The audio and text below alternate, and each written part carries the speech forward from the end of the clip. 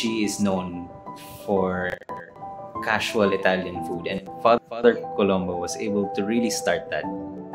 I'm Paolo Moran. I am the executive chef of Amici. It started off as a cafeteria, and of course, he wanted to just cook what he knew. So, being an Italian himself, he shared Italian food with the people of Don Bosco. There were a lot of dishes actually that were from Father Colombo himself. Of course, I don't want to take away from his legacy. I actually want to continue on from there. For me, it's all about finding dishes that would work with the original menu, plus marry also some new innovations, some new ideas. So when I come up with new dishes, I try to make something. I try to make something that I think family and friends will like. For the seafood Diablo, it's a very simple dish, but I think it fits the casualness of Amici. Plus, I add a personal touch of going a little extra spicy, just so that it's something that people can also enjoy the, same way that I do. The Il Supremo is it's kind of, I guess it's it's like a lot of the dishes that I wanted to come out with originally. It's a marrying of Italian and Filipino culture together. That's what Amici is.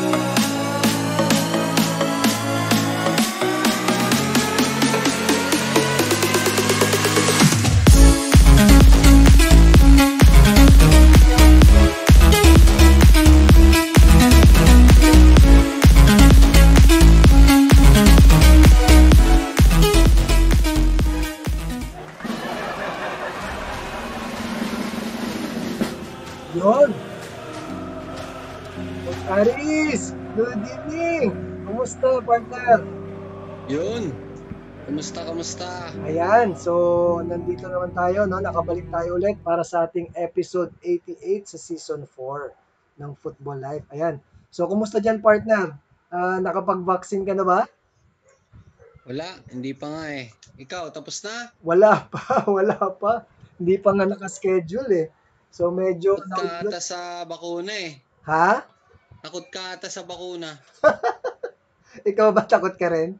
Kaya, Hindi. dapat nauna ka, di ba, DepEd? Matagal ko nang inaasam eh. Pero inuuna yung mga may underlying ah, parang may sakit or something.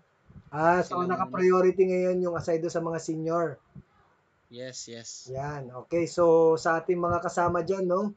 Again, good evening po sa inyong lahat, no? Nandito ulit tayo sa ating ah, Football Life, no? ah, episode, no? Pero ngayon, partner, iba yung medyo topic natin kasi pag-usapan natin yung football at the same time, yung nagawa ng football sa kanila. No, kasi to ito actually mga talents to from ah, Don Bosco, no? Ah, from from Makati and then from Canlubang. At the same time, nag-invite din ako dun sa ibang school kaso sila yung mga nag-reply. Ayan. So, Yes. Tapos sa pag ah, pagdating kasi sa sa usapang football, pag narinig mo yung paaralan na Don Bosco, alam mo na na ano yan eh, dumaan sa ah, football program ba? yes, yes. Kasi balita ko pag ito mga kaibigan ko, ikaw, ikaw mismo ano, produkto ka ng Don Bosco. Ah, yun din yung gusto nating alamin ano at pakwentuhin. Ano ba yung experience nila? Bakit yung mga estudyante galing sa Don Bosco mapa saang lugar ng Pilipinas ay mahilig sa football, Yes. di ba? Actually, partner, meron talagang vision doon pagdating sa football. No, ang requirement no at least ng isang Don Bosco school, kailangan merong football field. Yon, para mag-put up ka ng isang school, no, para sa isang ah, for example, yung ganyan, private school, kailangan talaga merong requirement na kailangan Football. merong football field. Wow, galing. Yan. So, ayan, Sana, meron tayong sana mga all. sana all. ayan, syempre, yun yung magandang pag-usapan, no? Bakit ah, ganun yung programa. But anyways, no, siguro magandang mahingi rin natin yung mga no, yung mga experience nitong mga players na to, no, at ah, naging standout sila dun sa kanilang mga school, but hindi sila nagtuloy partner dun sa I mean next level, no? Mas ah, siguro tiningnan tanungin natin sila kung bakit sila nag-priority dun sa kanilang mga career, pero at the same time baka may mga experience din sila bago sila nakapasok doon sa kanilang mga ano chosen field kumbaga. Ayun. So, Sige. ayan, Ah, papasukin na natin. kamustahin na natin kasi medyo umaambon na dito sa La Trinidad, Benguet. Ayan, Dito so miss, amin, ano? miss na miss Baka ko na dyan, partner, no? Miss na miss ko na dyan sa La Trinidad, no? Naalala ko, 2019. O si Lionel, yung picture niya, bagyo yun ha. Oh. Siguro malalaman natin, partner, no? Ano ba talaga yung work ni Lionel, no? Ah, I mean, Lionel ba o Nasa pag-asa ba siya? Mhm. Ayan, so, Hello, hi. Ayun. ayan naman, o yan, si Andres Mayol. Good evening po. Yeah, Good guys. evening, good evening. Yun, hello, hello. Parang ah, parang nagsasalamin lang ako pag ah, si Andres yung ano ah. Hawig ba kami? Obvious ba na magkahawig kami? Oo nga eh, sabi ko nga, hindi talaga pwedeng magpapatalo ng partner ko. Kaso nga lang, medyo mahaba yung buhok niya. No? Ayun, yun lang ang pinagkaiba. Oh, si ano, hindi pa, ayan, connecting. Oo, connecting, Connecting connecting, pa. si Lionel. Baka nababagyo pa, no? Nababagyo kasi yung kanyang ah, picture. Ayan. Lionel, nandyan ka na ba? Yes, rinig naman ba? ako? Ayan, shoutout Oo, natin yung mga nandyan, ka, no? Andres. O, Andy. Ano ba tawag namin sa'yo? Andy o Andres? Ano bang mas gusto mo? Ah, kay coach, ah, pwede naman Andres, pwede Yun. Mayol kasi kilala tayo sa football na Yon. So, nakapag-share ka na ba? Nakapag-share ka na nung ating live para makita ng mga kamag-anak mo sa Cebu. Ayan. Yes, coach. Yes. Ayan. So, welcome natin si Sir Ambrosio. No, sabi niya, partner, mahina daw yung audio mo, Coach Aris. Sa- Talaga? Ang eh, alam ko- ganun talaga. Alam mo kaming mga mahiyain. Mahina talaga. Ayan, si Coach Arvin Soliman. Coach Arvin, hello. And of course, si Dave Fiangan. Ayan. Good evening, Coach. Cordilleran Binadang. O, ayan. So, itong Cordilleran Bikers, no? Very active. At ang leader nila, si Aris Bukalan. Ayan. Nagpo-post ka pa ba, partner? Nakikita pa ba yung post? Baka masisita ka niyan kasi active ka, no? Uh, Siyempre, stay healthy, di ba? Yes naman. Oh, wala pa si Liniel. Ano bang nickname ni Liniel? Hello, coach. Rinig na ba Ayun. Yan, narinig Rinig na, ka. rinig Oo, na. wala ka na lang video. Picture mo na lang, ay video na lang. Oo. Saglit Ang, lang. ang nakikita namin, bagyo. Ayan. Ayan. Wala akong background eh. Okay lang yan, Ayan. okay lang yan. Pero Lilian, pwede mo bang i-landscape yung ano mo, yung phone mo para mas Ayan. yan. Yan, Yun. Okay na. the best. Para mas pogi, ano? Pogi. Ah. Talagang hawig kayo ni Coach Mike. Hawig kami ni Mayol eh. Ganun ba? Basta tanong natin kung papayag ba sila. Agree ba kayo? Ayan. Okay lang, coach. Walang problema. Ayan. Ayun. So, kumusta? So, kumustahin muna natin to partner, no? Siyempre, ah ito ay ah, pakwentuhin natin sila kung ano ba yung kanilang mga experience. Of course, nandito pa rin tayo, no? Sa ating pandemic, no? Hindi pa rin natatapos.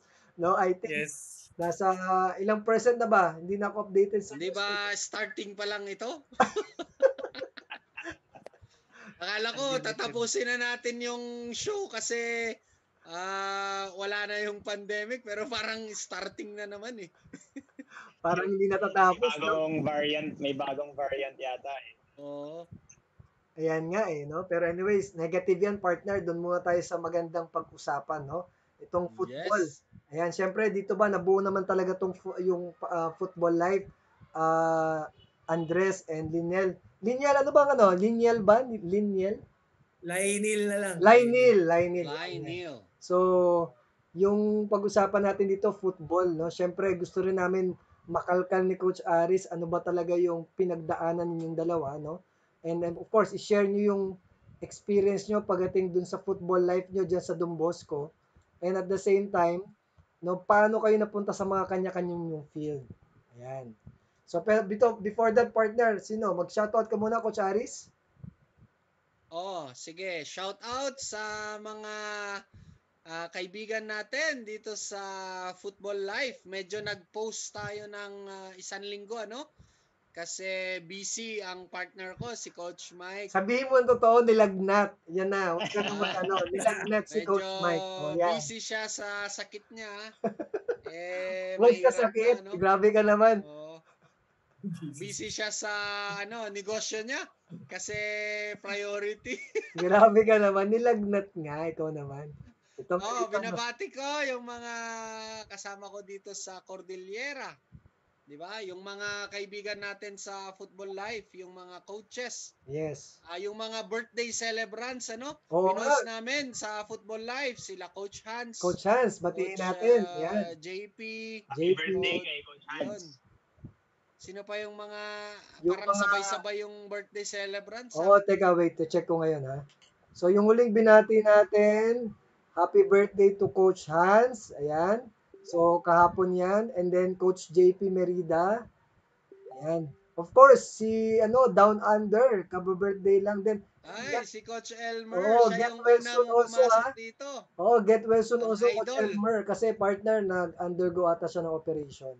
Mm, And of course, nandyan din si Ah, Carmona. tayo. Shoutout din natin si yun. Carmona.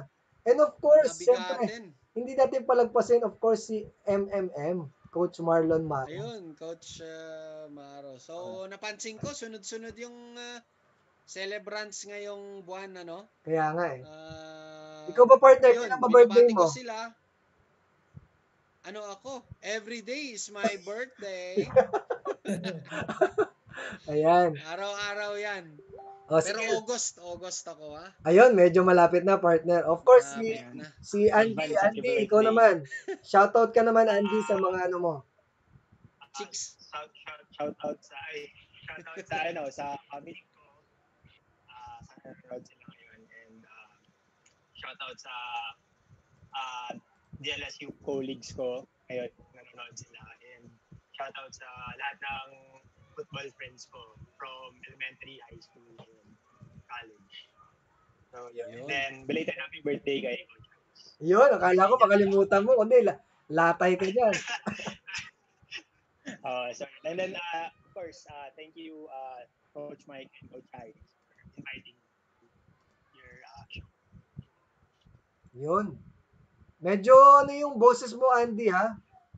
Ano ba yung iPhone Uh, ano mo? ba? Ano ba yan? Hello, Apple hello. ba yan? Mac? Medyo mahina eh. Yan. Okay na ba? Okay na ba? Yan, yan. Medyo Okay. okay na. Baka medyo mapili eh. Baka medyo maselan eh. Ayan, si La- Lainil naman. Tama ba? Tama ba yun, no? Yes, coach. Tama. Lainil. Ayan. Ayun, so siguro una, hello sa family ko kung nanonood sila. Sa mga kapatid ko kung na-share ba ni Kuya Ake. And then siguro sa wife ko, medyo yun nga, malayo. Nasa Laguna kasi siya. And siguro sa mga football friends ko rin, medyo inactive na rin kasi ako ngayon eh. So, matagal na kami hindi nagkikita tsaka nakakalaro. So, I think that's all. Kay Kuya Ake. Tapos, eh, kay Kuya Ake, kay Coach Mike, tsaka kay Coach Aris. Um, thank you sa pag-invite din sa akin. Yun lang po. Yun. Yun. Si Lionel, married. Ano? Yes. Si si Andres, ah, getting married. Single pa ako. Single, ayun. Ikaw na ikaw. Kaila- Ikaw na ikaw talaga, Coach Aris, no?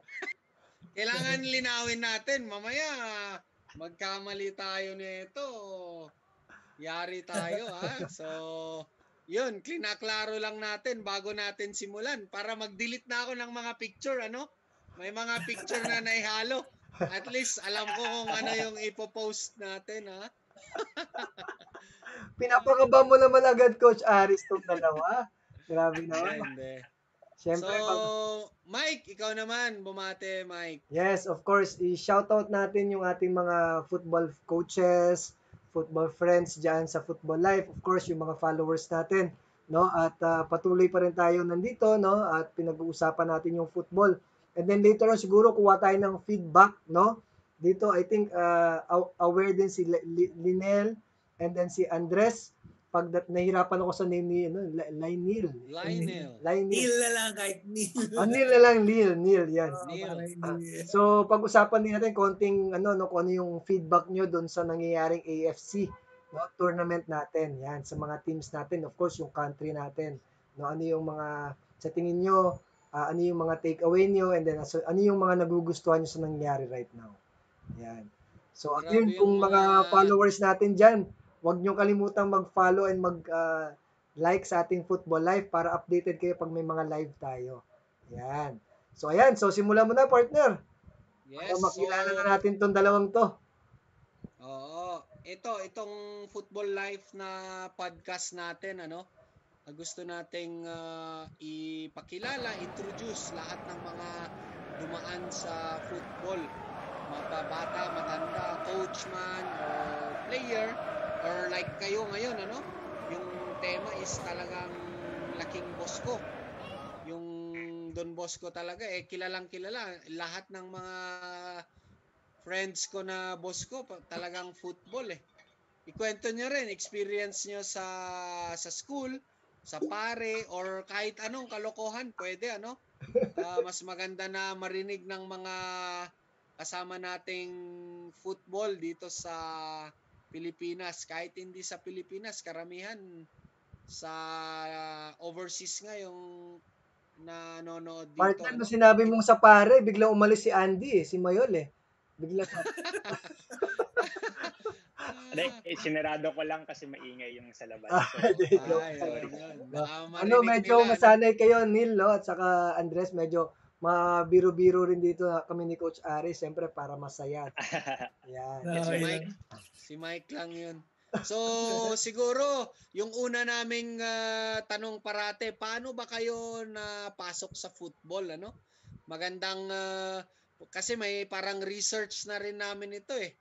Pag ah, ano, gusto naming malaman, paano ba karamihan nagsimula sa football? So, siguro si Mayol muna and then si Neil.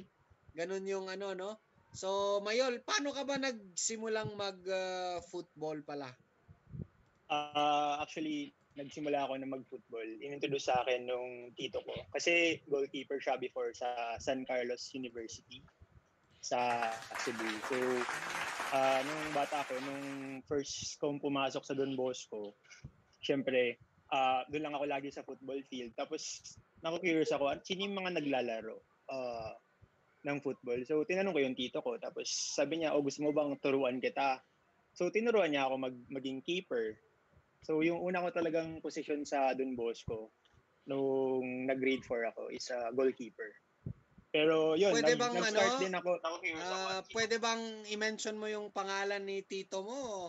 Yun. Ah, okay. So, Oo. so Tito Tito Mario, Tito Mario ngayon. So, um, so siya yung na- unang nag ah, nagturo sa akin and then after noon, ah, siguro nung grade 3 ako, nag-enroll din ako sa si Don Bosco kasi usually meron silang summer clinic every summer. So, uh, uh, sila Coach David pa yata. yun. Yes, oh, siya yung una kong coach dati, si Coach David. Yung, uh, kilala niyo naman siguro yun, ah, si Coach David. David sa Ah, ano? Sa Navy, Navy yata siya or... Oh, so Yun siya na si Navy yata, nasa Tagoy. Navy. Mm, si Coach Tagoy, naging coach ko rin noon, silang dalawa, nung clinic. Tapos, nung nag-grade 4 ako, ah doon ko na naging coach si Coach Armand. Si Coach Armand Heria. So, Yun. yun, then, The so legend. yun, na, oh, so si Coach Armand, naging coach ko yan. So, doon ko na unang nalaman yung yung word na yun, putas, ano word. Oo, syempre. Sorry coach ha, pero di ba? Okay lang dito yan ha, walang bawal dito. so, syempre, ah, coming from ah, Ilonggo coach siguro, ganun niya talaga. No? Pero, marami ako natutunan din doon. Kasi, syempre, iba rin yung training ni Coach Arman nung elementary kami. Pero keeper ako noon, pero pinaglalaro niya akong striker minsan. So, doon ako naging flexible kasi pwede ako mag-striker and keeper. So, yun. And then, ano ba, hanggang, ano lang ba, or start pa lang nung football. So, Tuloy Sorry. mo na Tuloy hanggang mo sa na. love life. tutuloy ko na agad sa live. okay, so, so yun, ah, naging coach ko si Coach Arman hanggang grade 6 ako. And then, after nun, ah, I think bumalik na siya ng Bacolod. So, naging, ah, nung nag-high school na ako, ibang ano na naman, ibang coach ko. Doon ko una naging coach si Coach Mike. First year high school ako. So, naging keeper nila ako noon. Tapos, minsan, pinagalaro niya rin ako ng either midfield or striker. So, yun kasi talaga yung ah, pwede kong laruin at that time. And then, medyo mataba talaga ako noon, kaya keeper lang talaga ako. Kasi hindi naman ako makakalas ng 5 minutes sa field eh. Siguro, papa, papapasukin na nila ako mga last 10 minutes na lang nung game sa as striker or as midfield kasi hindi ko talaga kaya mag-sustain nung ah, nung whole duration as a field player. Usually lagi akong ah, keeper. So, Si Coach, lagi yung parang Coach Mike Agbayani ba yan? Tinutukoy mo? Oh, si Coach Mike Agbayani. Siya yung... ah, Ay, okay. yes, yes. Ganun talaga yun. ah, ganun yung style nun. Sige, tuloy mo lang. Okay lang, sabihin mo lahat ha. Oh, tapos, okay, okay naman si Coach ang dami ko natutunan. And, uh, syempre, ah, hindi ka talaga pwede maging field player pag mataba ka, tapos lagi kang hinihingal. Nandun naman yung sipa, yung passing. Pero, there, there was a point in my life na ah, parang meron yatang second year ako noon, naging coach ko na nun si Coach Noel tsaka si Coach Mike. And then, medyo dinibdib ko talaga to kasi hindi nila ako pinili for NCR, ay, oh, tama, NCR meet. Yung parang NCR meet for palaro. Kasi, ah merong keeper na na mas matangkad sa akin. Tapos, ah pwede naman akong field player. Pero sobrang taba ko, so hindi talaga ako magagamit. So, dinibdib ko talaga yun. So, after nun, ah, sabi ko magpapapayat talaga ako kasi hindi pwede to. Nandun naman yung skills and everything. And sa tingin ko na worth it naman ako ma- masama sa team. Pero yun nga lang. ah laging naging hadlang yung pagiging mataba ko. So, so yun siya. Tapos after nun, ah, nung isang summer, parang nagkaroon yata ako ng time na mag-crash diet. So, siguro nag-lose ako ng 70 to 80 pounds nun. So, mataba pa lang ako, mabilis na ako tumakbo kasi nandun yung ah, yung fast twitch muscle, muscles ko over the years of training. Pero yun nga, hindi ko nasusustain. Pero nung pumayat ako, mas naging mabilis ako. So, nung third year ako, na-discover na ulit ako nila Coach Mike na pwede pala akong mag-midfield, mag-striker. Tapos, ah siguro ang ginawa ko para magpayat at that time is, oh, yan. So, yan yung ah, last playing year ko kay Coach, ah, Coach Mike. Fourth year ako niyan. So, ah siguro ginawa ko noon para magpapayat. Buong summer break, ah, tatakbo ako ng 1 hour sa umaga, tapos 1 hour sa gabi.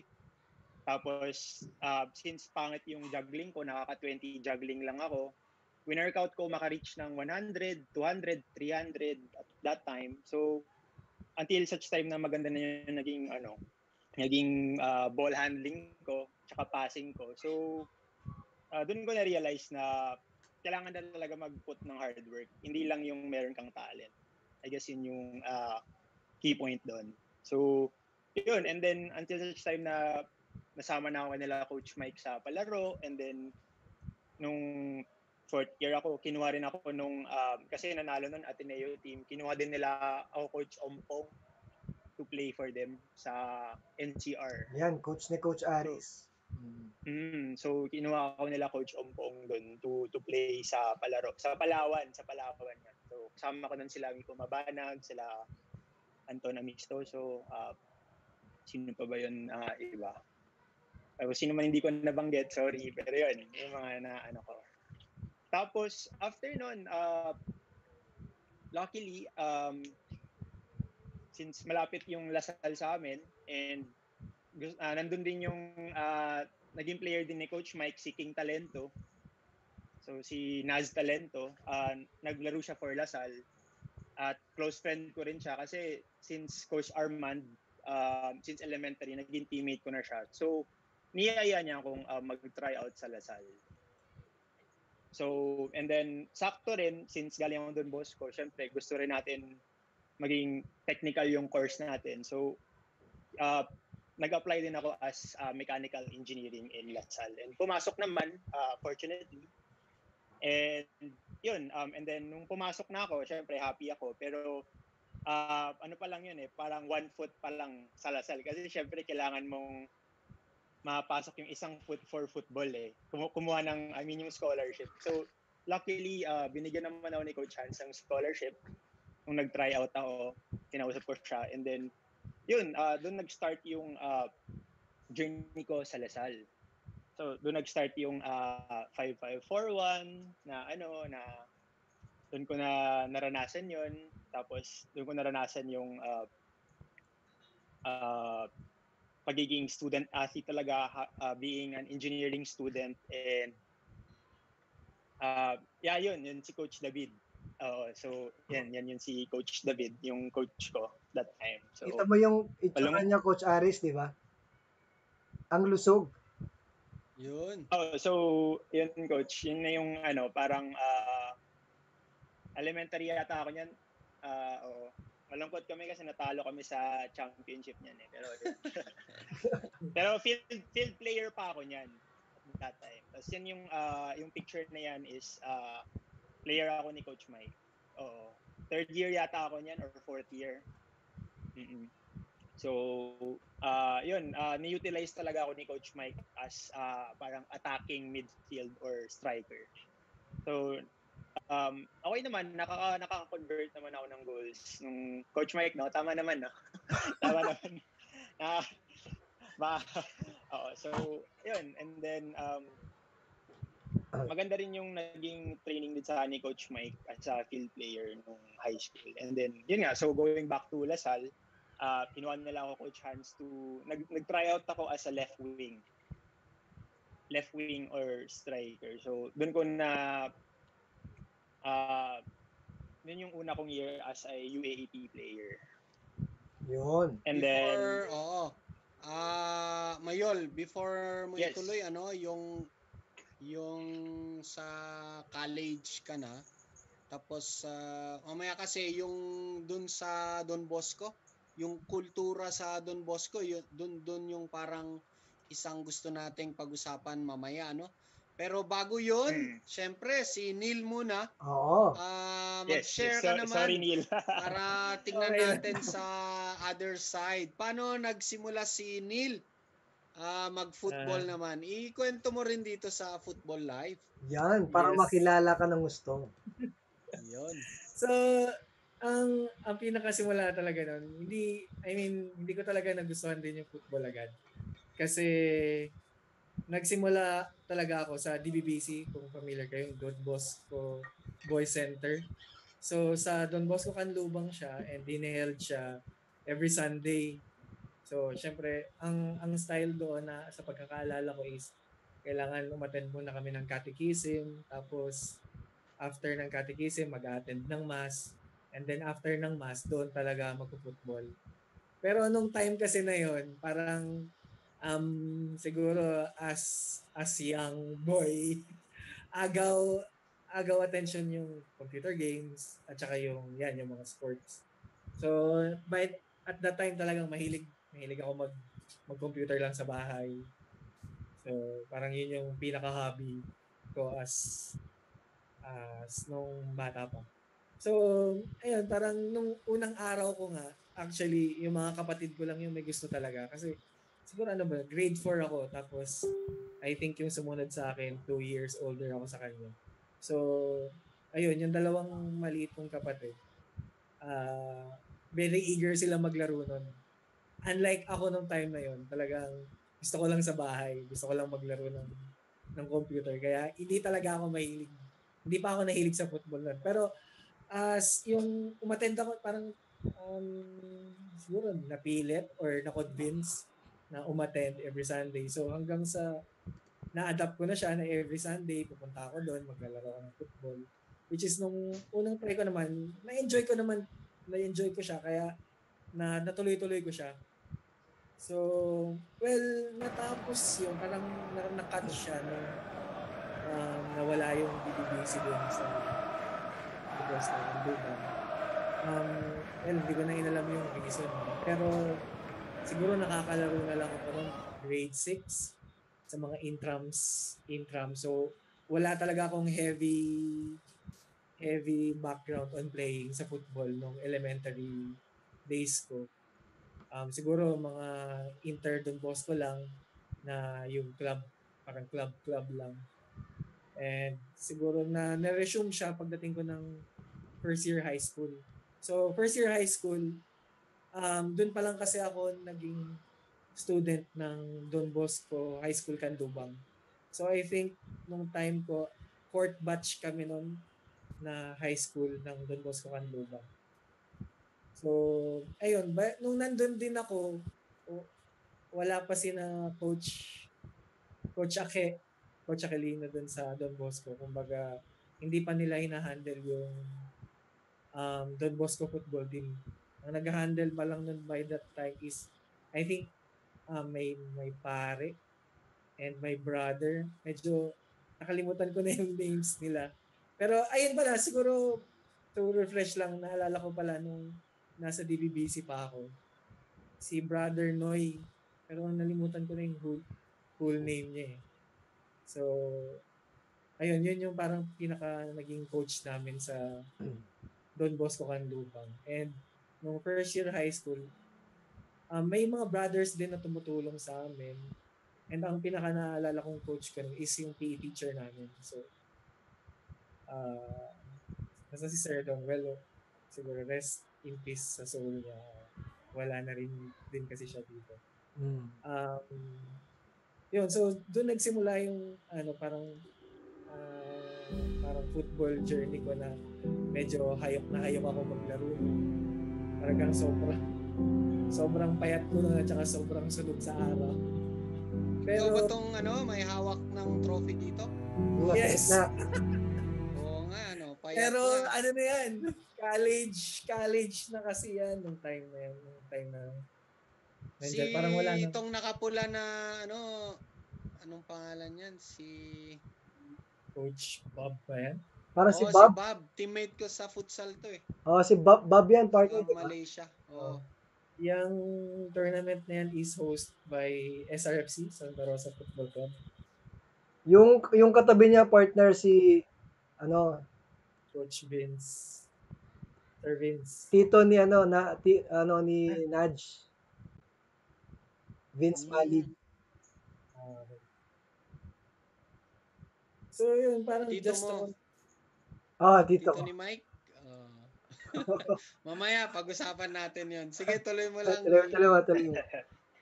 So, yun. Um, siguro, um, throughout my high school life, parang doon naging active na tapos nagtuloy-tuloy din hanggang hanggang college. Well, siguro ang highlight ko lang na playing noon during high school is yung mga ano lang um, city meet so Stakaa So, by the time kasi parang uh, nung bago ako matapos sa Don Bosco Canlubang, doon pa lang yung time na pumasok din sina Coach Ake sa Don Bosco Canlubang. Parang doon pa lang din sila nag-start. And siguro parang hindi ko hindi ko sure kung siguro na, na timingan kasi ni Kuya Ake na, na yung kunari yung mga kapatid ko papasok na rin kasi sa sa Don Bosco Canlubang noon and yung mga ibang kasama ko rin sa DBBC na younger din sa akin at at that time, parang papasok na rin sa school na yun. So parang medyo yung bagong team na papasok nung paalis na ako, um, may magandang football background talaga. So parang doon nagsimula na siguro college na ako noon, first year college. Well, siguro pa, parang ayaw ko lang ma, maputol yung football uh, playing playing ko. So, I try na bumalik sa, sa Don Bosco Canlubang. Uh, bale, nag-college ako sa UP Los Baños. So, naging coach ko rin doon si na Coach Ryan. Actually, naabutan ko pa si Coach Alan Paison. So, Coach rest- Alan. Oo, rest in peace for his soul. Ah, yun. So, sila yung mga naabutan ko. Kumbaga, um, parang by that time, nagpe-play ako sa Los Baños. Tapos, bumabalik din ako sa Don Bosco Canlubang. Kasi parang, wala, parang gusto ko lang magkaroon ng transition. Parang gusto ko rin i-share yung knowledge ko sa, parang sa susunod na high school players ng, ng Don Bosco Canlubang. So, yun, parang naging ganun yung parang football football life ko nung college. So, naglalaro ako sa university and then bumabalik-balik din ako ng Don Bosco Cantuban. Kasi may mga naglalaro din doon. So, medyo naghahanap din talaga ako ng laro nun on our area. Kasi hindi naman, umaga, hindi ko kayang pumunta ng Manila. Kumbaga, by that time, talagang student na student talaga ako.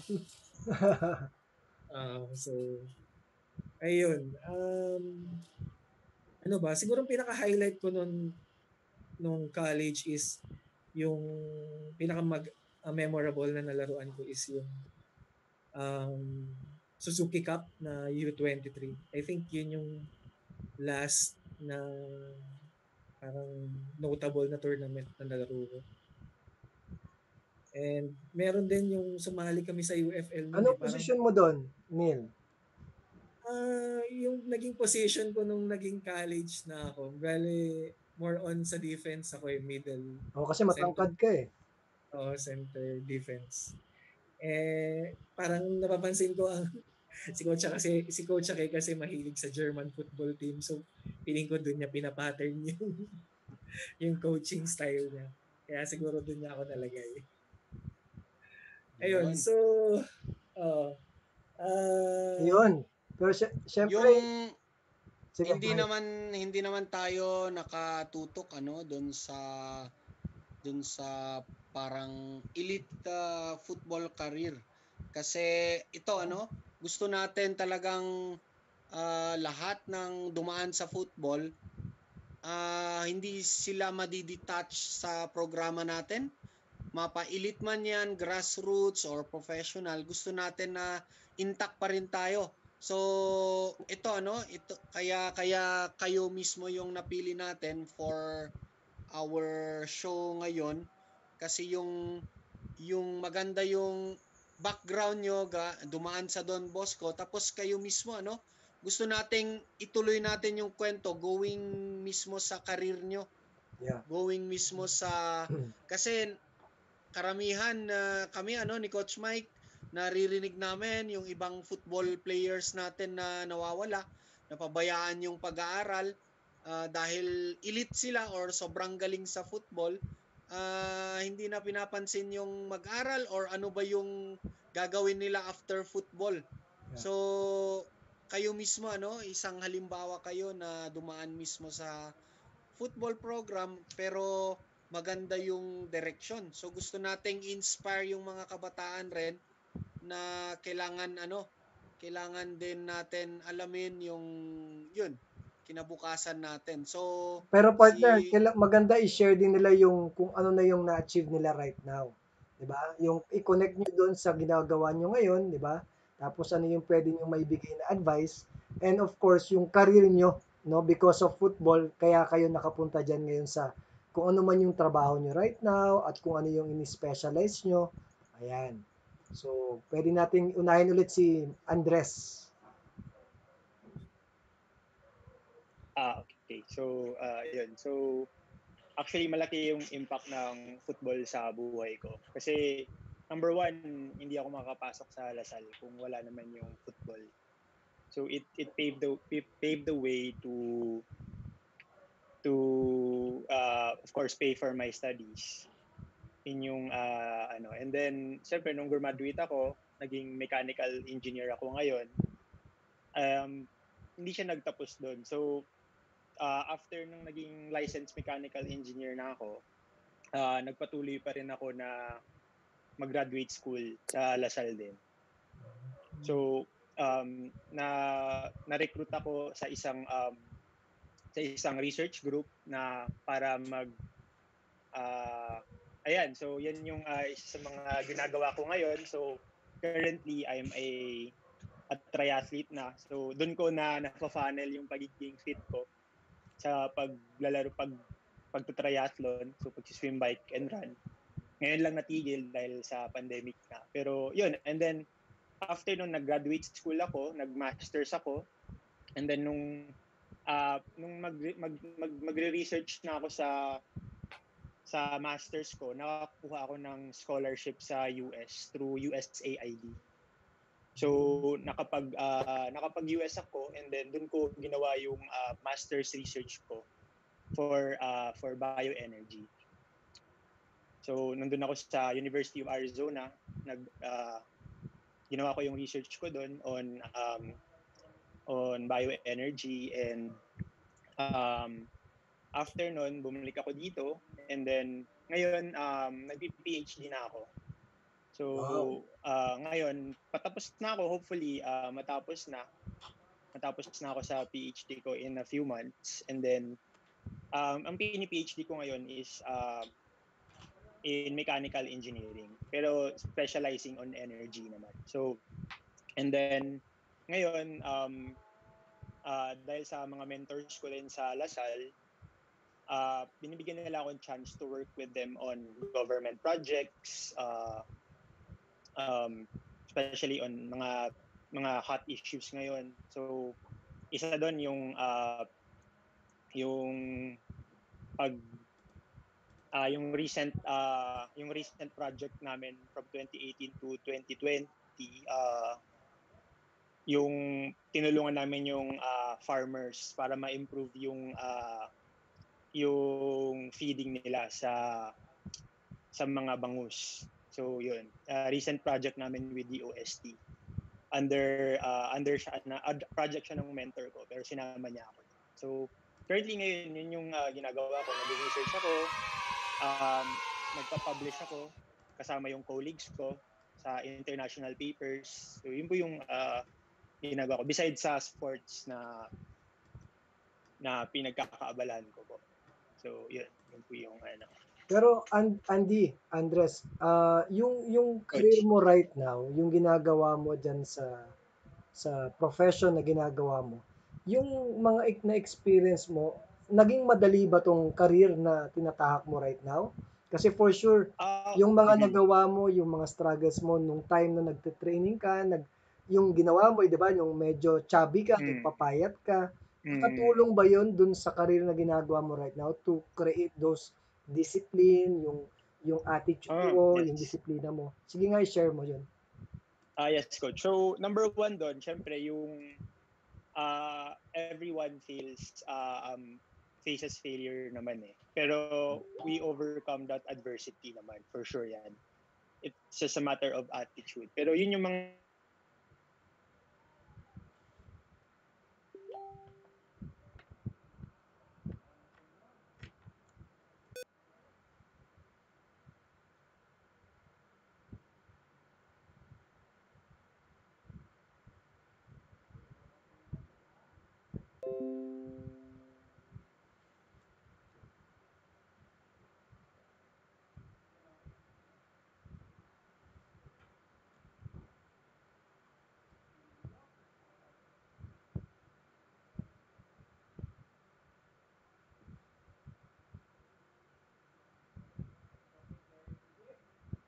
natin sa football eh.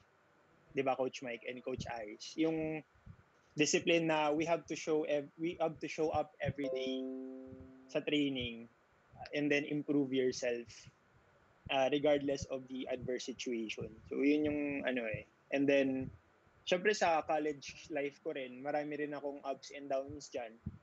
Syempre uh, tough love din with Coach Hans, isa na yun doon. Pero yun, pero I think uh, isa doon yung isa sa isa si Coach Hans sa mga pillar din na nag-mold nung discipline ko na nadadala ko pa rin sa work na yun. Yung motto lagi ng team is uh, start start strong, finish stronger eh. So kahit naman sa work na apply ko pa rin yun hanggang ngayon na dapat gawin mo talaga yung best mo. Kahit sa ang field, kahit mapunta ka man, not just in football, but I think in everything that you do in life, just do your best. I think yun yung, and then yung mga rewards, it will just follow eh. So I think yun yung ano, natutunan ko dun sa journey ko. And then especially sa football. Kasi yung rewards naman sa football, I think pag if ano is manalo ka, yun naman yan. Eh. So, yun. And then of course, yung teamwork, malaking factor yun, lalo na ngayon sa work. I think si Neil then can agree to this. Yung Yes. pakikisalamuha sa, sa, sa salamuha sa workmates natin. Syempre, sa football, magkatingin na lang kayo, alam niyo na yung pasahan eh. Yung mga ganong galawan, nagagawa mo rin yun sa work eh. Kailangan mo lang kapain mismo yung workmates mo eh. Kailangan mo lang Yeah. tingnan yung ano nila, di ba? Na yung kung paano sila gumalaw. So, parang ganun din sa football eh. So, I think yun yung mga na isa sa mga na ano ko is discipline and teamwork. And laging yun din, ah, laging mga sinasabi sa amin ni Coach Hans yun eh, na ah ano yun, the first alphabet lagi. Ano yung ipinaka-importante sa sa sport na to? The, the first letter in the alphabet is A, attitude. Yun yung dati ang dami namin sinasabi pero attitude lang pala yun. Pero yun. Yun. Oo, tapos Yun. tapos Of course. sabihin niya, tapos pag hindi, pag hindi namin mag-gets yun, sabihin niya, how the fuck did you get to college? Mga ganyan-ganyan pa yan. Pero, yun. Pero, pick tayo ko chance. Pero marami kami natutunan doon sa kanya. Sobra. So, Ayun. yun. mamaya may may mga tanong tayo mamaya patungkol dyan. Pero ang, ang ganda, ang galing ng sharing mo, no? Ah, syempre si Neil. Si Neil naman ah, i-share mo ulit ano, ituloy mo yung kwento mo kanina.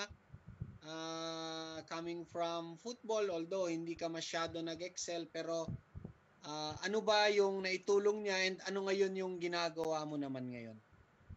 Um, siguro, ah, i-highlight ko yung football as a player. Tapos, nag-transition din kasi ako as a coach. So, I think may mga traits or traits na nakatulong sa akin sa work ko as a player and a coach.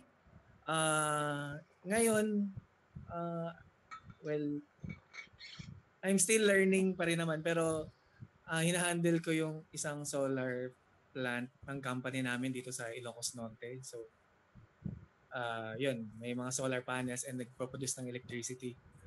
Ah so lahat ng processes so tingin ko ang pinaka-challenging sa akin ngayon is yung yung pag-handle ng nito ng mga tao ko, mga personnel. So I think maski sa football as a coach, parang um, isa rin yun sa difficulty siguro na ah, ma-manage mo yung players mo or ma ma-workout mo na may magkaroon sila ng teamwork. So I think yung as a player marami na rin nabanggit si si si May, Mayol doon. So sa akin parang yun nga dahil naging player and coach ako. I mean, marami akong nakukuhang parang mga um, learnings as siguro as a coach kasi more on managing yung position ko eh. So ayun.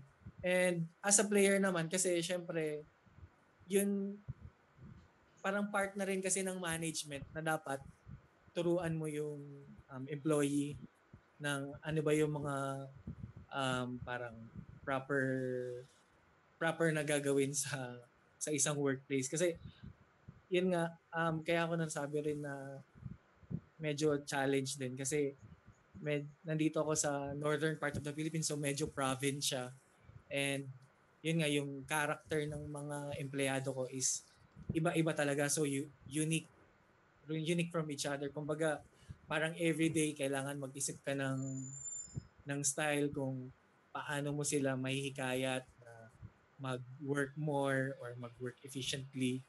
So I think yon as as a coach parang ganun din siya, 'di ba? So parang every time na pupunta ka sa sa football field, you will think of drills, ano yung mga technique or ano mga yung tactic na ituturo mo sa sa sa mga players mo. Tapos yun nga um as a player siguro nakatulong sa akin yung pagiging persistent um yun yung never say die na na attitude tapos meron din kaming saying sa Don Bosco na well tumatak kasi siya dahil ang tagal ko rin nagstay sa Don Bosco yung ad maiora natus siguro familiar ka din yung born for greater things so parang may similarity rin naman sa mga nabanggit na ni Mayol. So, parang every time na may may challenge or may task at hand, so syempre, hindi ka masasatisfy.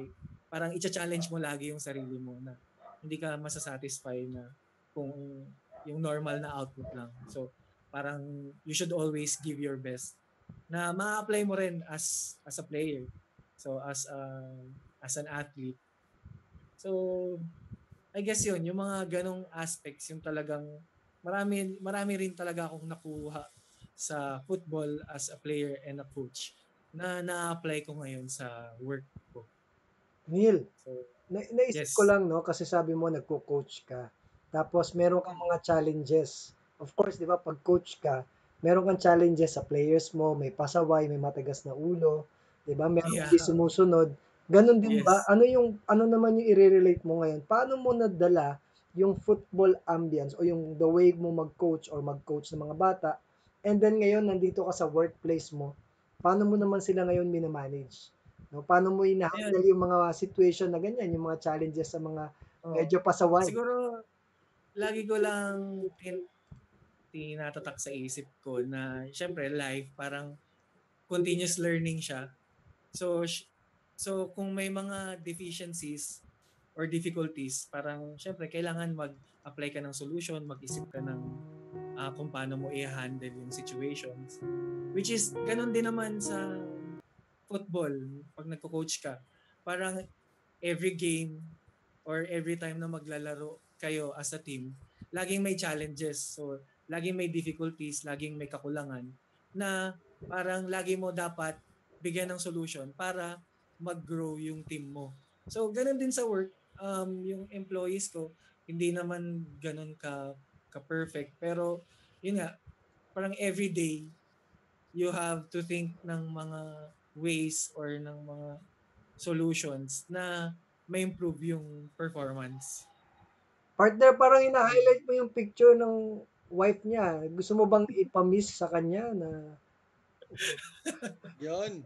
So, nasa Laguna yung ah, misis, misis mo, tapos andyan ka sa Ilocos. Oo, medyo. so isa ba yun sa mga challenges na gusto mong i-emphasize partner Oo. Nanonood ba si misis mo? Baka mag-joke kami. Well, wala namang problema. I think she can understand. Ah, mukhang ano mukhang aral partner ah, mukhang uh, naturuan mo. Oo. Oh, bago tayo magbiruan ano kasi baka mag-away pa kayo, hindi ka pa uwiin 'yan. Ah, meron tayong game dito sa Football Life. Ang unang game natin ay ah, favorite ni Coach Mike kasi parang ah, pinagtitripan namin yung mga guest Grabe ka naman pinagtitripan, sobra ka naman. Hindi, katuwaan lang. So, meron tayong game, ano, kasi ah meron tayong gift certificate na sponsor dito sa podcast natin. Ah, ang game na to ay ah, Coaching Eye. Kasi coaches kami ni Mike, kayo rin. Ah, simple lang, maghanap, mag-isip kayo ng ka-look-alike ka-look-alike ng guest natin.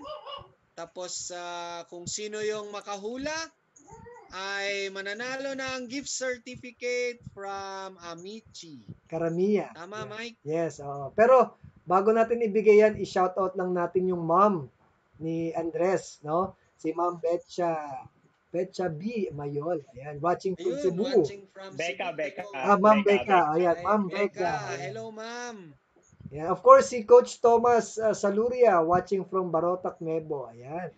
So, Coach Ayan. Thomas, kailan ka namin dito may invite? No? Okay na ba yung internet mo? para naman makapag uh, kumustahan tayo dito sa Football Live.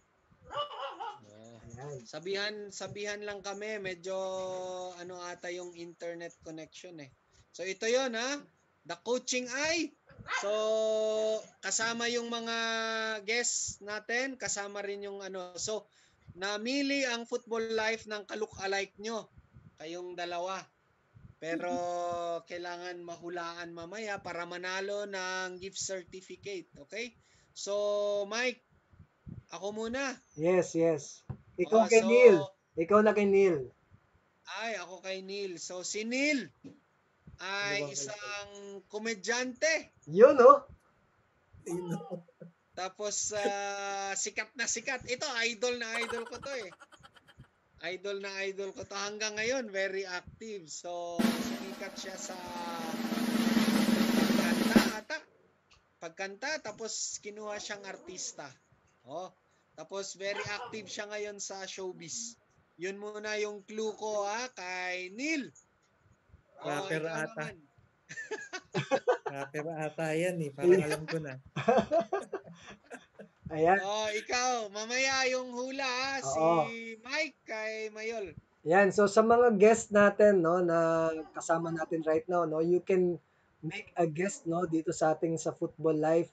And then syempre, kailangan pag-isipan nyo kasi pag nagkamali kayo, hindi niyo na pwedeng bawiin. Ayan. So, of course, shoutout muna natin si Coach Frank Moisca, no? Yun. good luck ka, Coach Lodi. Coach Frank sa inyong ah, AFC campaign. Ayan. Hey, Yes, Coach laban Frank. lang, ha, Hey, Coach. Frank. Ba- bawi ah, bawi Coach Frank, bawi, bawi. Ayan. Yes. So, para naman to kay Andres, no? Ito kay Andres, ano to eh? Um, artista, no? ABS-CBN Star Magic, no? Kasi ito si Mayol. Partner, nakita mo yung picture kanina, di ba? Yung mga posing-posing, nagmo-modeling kasi to eh. No? Si Ah. Mayol. Nag, ah, hindi ko lang alam kung yung, Pareho talaga kami ah. oy, tinan mo, inako mo na naman eh. And then, at the same time, sa ABS-CBN, kaso sarado na yung ABS-CBN, no? Um, actor, model, and swimmer. Yan. Di ba? Yun, yung So, I think- look-alike niya. I think ano eh um kasi si Mayol triathlete, 'di ba? Saktong-sakto partner yung talagang pinadala sa atin dito sa ano eh sa ah, football life, no? Ah, ano eh, ah, actor, model at the same time ano, nagsi-swimming.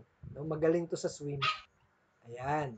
So, yun muna kasi pag binigay natin lahat yung clue eh mahuhulaan agad ni Andres. Ayan.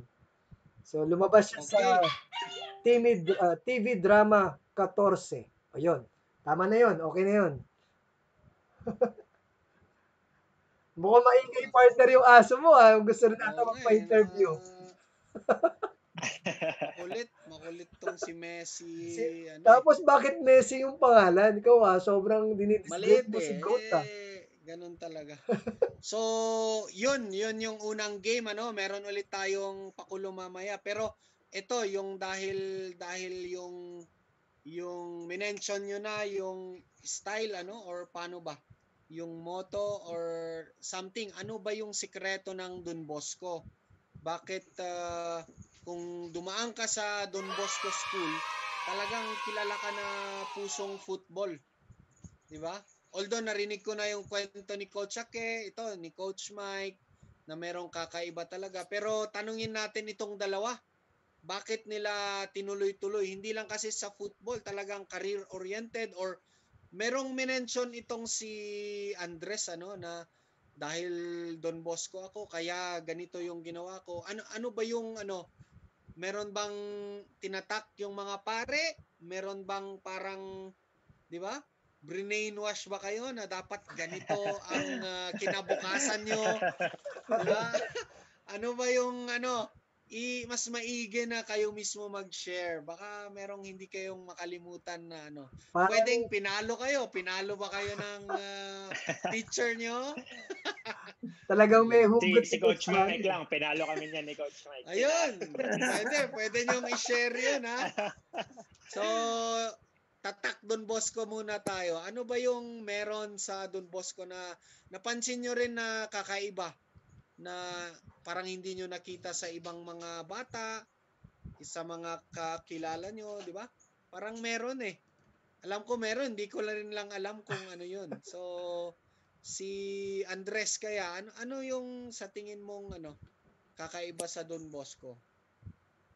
I think isa doon yung ano eh, yung kasi all boys naman kami. Siguro yung brotherhood eh. Andun eh. Yung I think yung solid brotherhood. Andun yung since elementary hanggang hanggang fourth year high school. Ewan ko ngayon may senior high na. Pero before fourth year high school, may ano, may uh, may factor yon And syempre every ano ba, lunch tsaka recess namin, may naglalaro talaga sa football field or sa basketball court na mga I mean kami lahat naglalaro kami. Minsan nagba-basketball ako, minsan nagfo-football ako. Pero never never nawala yung uh, yung sport sa Don Bosco talaga. And they I think they uh, bin, na, ano din minomold talaga nila yung students nila na maging ano eh maging hindi naman jack of all trades pero parang they want uh, their students to be well-rounded ba? Kumbaga yung ano. Ayan si coach Mike oh. Nakadilaw. So, asan asan hindi ko makita. Grabe. Wala tayong magagawa partner. Laki ng mga players natin eh. Asan siya dyan?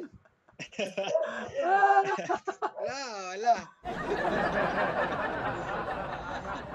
So so yun yung ano. And then I think yung yung isa rin sa doon marami kasing saying si Don Bosco talaga eh yung isa doon yung do your ordinary duties extraordinarily well so well. yun oh alam mo rin yun Neil di ba so yes. I think andun yun sa Don Bosco taas sa ano Meron pa, may isa pang mahalaga na hindi mo nasasabi.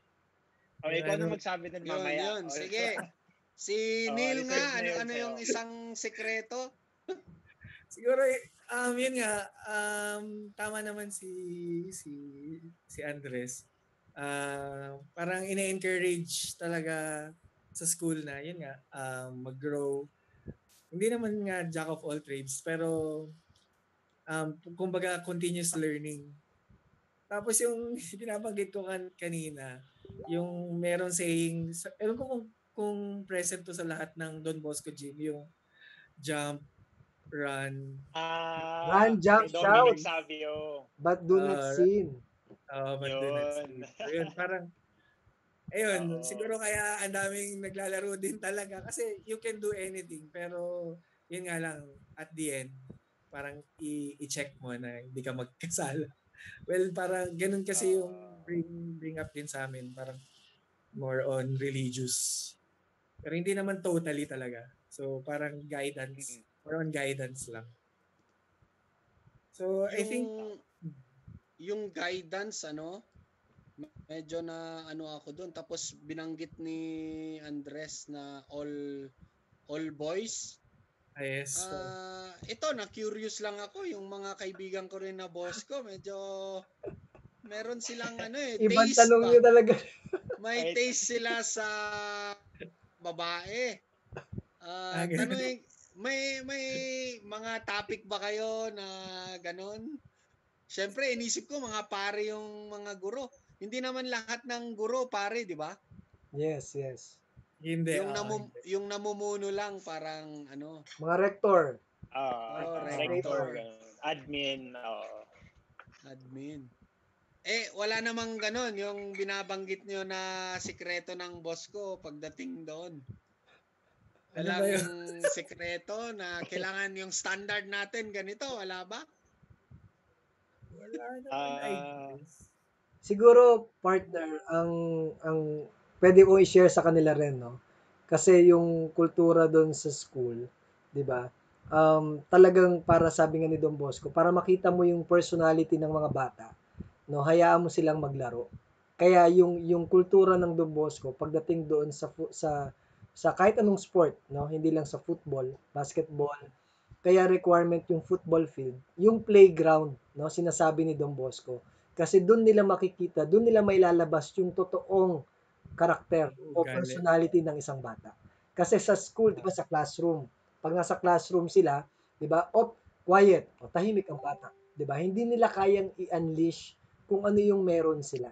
Kaya mostly pag ang ang pag break time talaga partner pagdating sa mga lahat ng Don Bosco School, majority naglalaro sila ng recess, lunch, no? Masisira talaga yung football field kasi walang pahinga, 'di ba? Kasi talagang may maglalaro. And then may mga basketball court. Mapupuno 'yan kahit tipong 10 team naglalaro sa isang basketball court, naglalaro 'yan mga 'yan. Kasi nga ganun yung culture. 'di ba? So kahit mag, iba-ibang mukha, iba-ibang bola 'yan, naglalaro sila lahat diyan, no? Kasi nga yun yung ambience doon sa Don Bosco School na kailangan ah, yung mga bata naglalaro talaga kasi doon talaga daw makikita yung totoong personality ng mga bata. Oh, parang meron pang additional saying dyan na naalala ko yung an idle mind is a workshop of the The devil. devil. Oh. Oh, Oo. yun. So, kailangan, kailangan talaga, parang lagi kang busy. So, yun. Siguro, kasama na rin din yung sports, nag-aaral. Kaya Coach Aris, pag medyo hindi ka busy, marami kang naiisip na ano, 'di ba? Na- Ganun ba 'yon? Ganun ba yung ano nun? Yung yung mga ano, yung mga coaches or teachers kasi although outside Don Bosco 'yon, yung kwento ni Andres ano na si ano biglang may nagmura na coach ganon. Ah, hindi hindi naman ganon ka stricto yung ano, yung school kapag ah, 'di ba? May mali or may Ah, umabusto hindi sa naman. power. Wala, wala. Hindi naman siguro. Wala naman. I mean, siguro nung yung before nung elementary ako, like yung mga ganun, I think that counts as an expression din eh. Yung Pero, ganun. alam ko din Pero syempre discourage. pag bata ka, oo, dinidiscourage. Discourage. oh. Mm. Pero I think kahit sino namang coach na pag kunyari nagkamali yung player mo tapos nasa crucial game na kayo, talagang malalabas mo yung expression na yun eh. So siguro at that time, yun lang yung nangyari, di ba? Ah. So, Yun, magandang magandang ano 'yun ano? I think Mike, yeah. 'di ba, yung plano natin, yung mga ibang guest, yung mga players din, naging football players na may kanya-kanyang career, tapos ah, siguro ibang school naman para may comparison tayo. Ito, mga busko, 'di ba? Mga sa Ateneo, sa yun, Lasal din, sa UST, 'di ba? So ang dami nila pero minsan busy, ayaw nilang ma-invite dito sa Football Life eh. Ayaw nilang mag-share ng kwento nila. So I think itong susunod pakwentuhin natin ah, sila ano, may pinili si Coach Mike. May pinili kami na mga photos ano. Pansin ko yung time, medyo lumampas nga ng half time eh. Pero gusto namin magkwento naman kayo patungkol dito sa picture na ipapakita namin ano tapos baka may mga side question si Coach Mike na mahirap. Okay? So ito, Yan. Talagang dinidiin ni Mike yung kalusugan ni ano ah. Ah, mahilig ka sa carbs ba Oo. noon? Yan, nanonood si Mami ha. Oo, Galingan mo yung sagot mo. Mga extra rice. Pero yan yung player ako ni Coach Mike yan. I think first year yata yan eh. So yung first year ko na yan, keeper ako ni Coach Mike yan. So I think yung nagtitrain sa akin as keeper dati si Coach Nonoy. Kilala niyo ba yun? Si Coach Nonoy? Partner si Nonong Carpena. Hmm. Oo, oh, Sun. Si... Tama ba? Tama, Coach? Nonoy yung coach sa keeper. no? Nasa Oo. Bacolod na ngayon.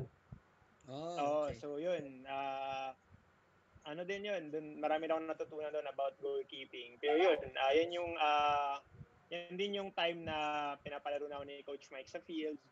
Doon talaga si Coach Mike din yung isa sa mga nag-hone sa akin na maglaro sa field. So, yan yun. Yan yung ah, ano, first year high school ako niyan. Oh, player ako ni Coach Mike yan. Pero hindi ka ba napapaisip, Andres, nakita mo, di ba?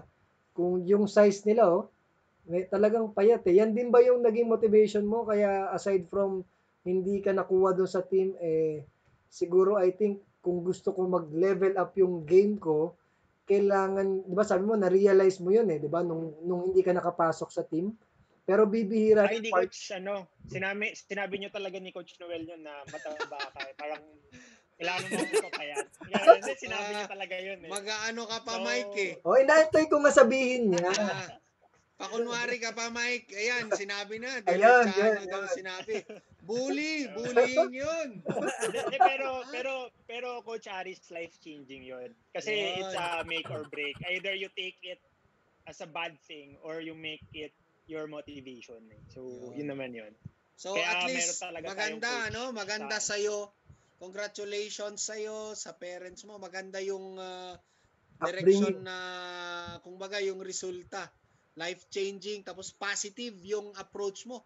Alam mo, masama yung ganun. Ang daming ah, mali yung tinahak sa buhay. Ang daming na trauma sa ganun, Coach Mike, ha? Baka, Pwede mo namang sabihin na, ay, ganito, we we advise you to eat uh, the following, di ba? yeah. Pero diretsaan daw ang ginawa niyo eh. Ah, hindi, Coach Aris. Ah, ano naman kami ni Coach Mike noon? Medyo close, Close. kami. Ay, So, kaya- okay naman. Hindi, partner, sa totoo yung, lang, ano, si Andres, I think ang pwedeng nakapagsabi sa kanya, no kasi si Coach Noel, yan yung pinakatatay eh.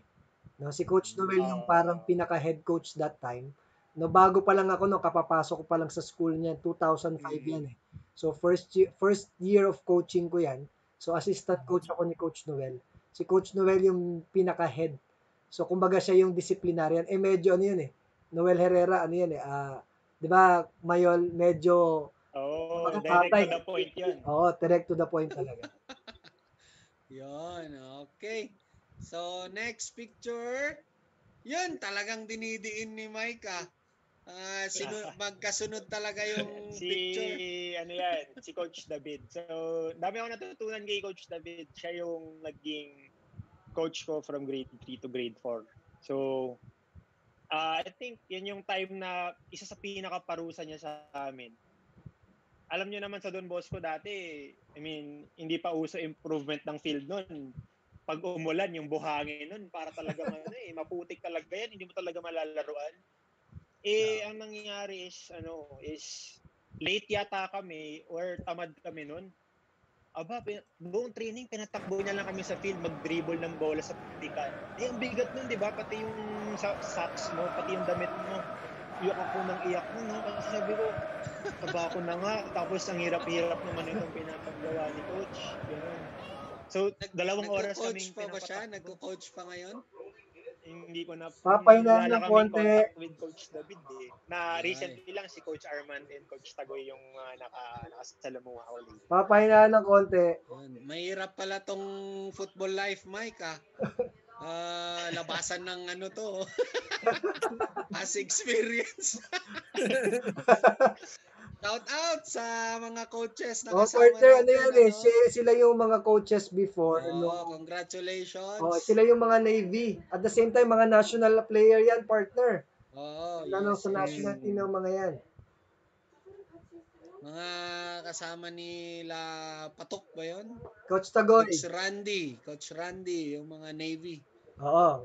Tsaka uso-uso pa nun yung Mikasa na matigas. Pag pinamp mo Oo. talaga, pinapasipa sa amin yung dati. Grabe. Ang tigas-tigas nun, di ba? So, Oh, hindi pa uso yung mga... Pero dati kasi pag yung Mikasa na leather, tapos pag pinamp mo ng todo-todo yun, pag sinipa mo yun, para ka sumipa ng bato eh. Lalo na pagbasa. Pagbasa. Oo, pagbasa, yun, pinadribble niya sa amin yun. eh. yun, ito. Kanino to? Kenil. Akin na yan. Ayun. Parang nandito si partner Ake ah. Oh, kwento mo nga anong meron dito? Bulalo. Ano yan? Isa sa games ata namin sa Los Baños. Um, parang dalawang group yan. Yung isa is high school team, tapos yung isa is men's team. So, after ng game, game namin sa Los Baños yun. UPLB. Hmm. Medyo Sino hindi yung Parang- katabi ni Coach Ake? Parang si Coach Oni yan eh. Oo, oo, si Coach Oni nga. yun. Coach Oni talagang kabady na noon pa ah. Payat pa si Kuya Ake. Yun, shout out sa mga Laguna, mga kapatid natin dyan, ano? oh, bale, siguro, kilal, ewan ko kung familiar kayo. Pero by the time, active na rin kasi yung club, yung Schwartz Football Club. So, ayun, parang um, nung time na yan, yung Schwartz Football Club na rin yung, yung mga coaches from the club, sila rin yung nag-handle doon sa school team. So, yung high school team dyan, parang isa yan sa mga um, tournament na sinalihan ng high school team. Where kasama din yung men's team ng club. Yun. Yung Okay. actually, Neil, no, matanong ko lang kasi nabanggit mo yung sa Swartz, no? Yung Swartz ba, it's the, yun mismo yung program ng school or parang school and then attachment ng club with the school? Ano ba siya? Program ng Ay, school? Hmm, hindi. Paano ba? Kasi si Coach Chucky ang pinang, parang pinaka-head nun. Kumbaga, masasabi ko na different entity si, Co- si Coach Chucky at that time.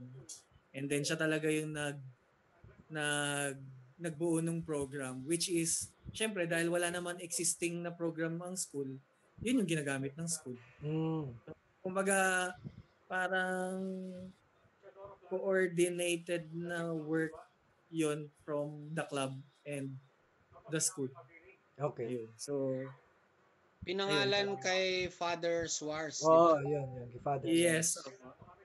Tapos uh, inano siyang club.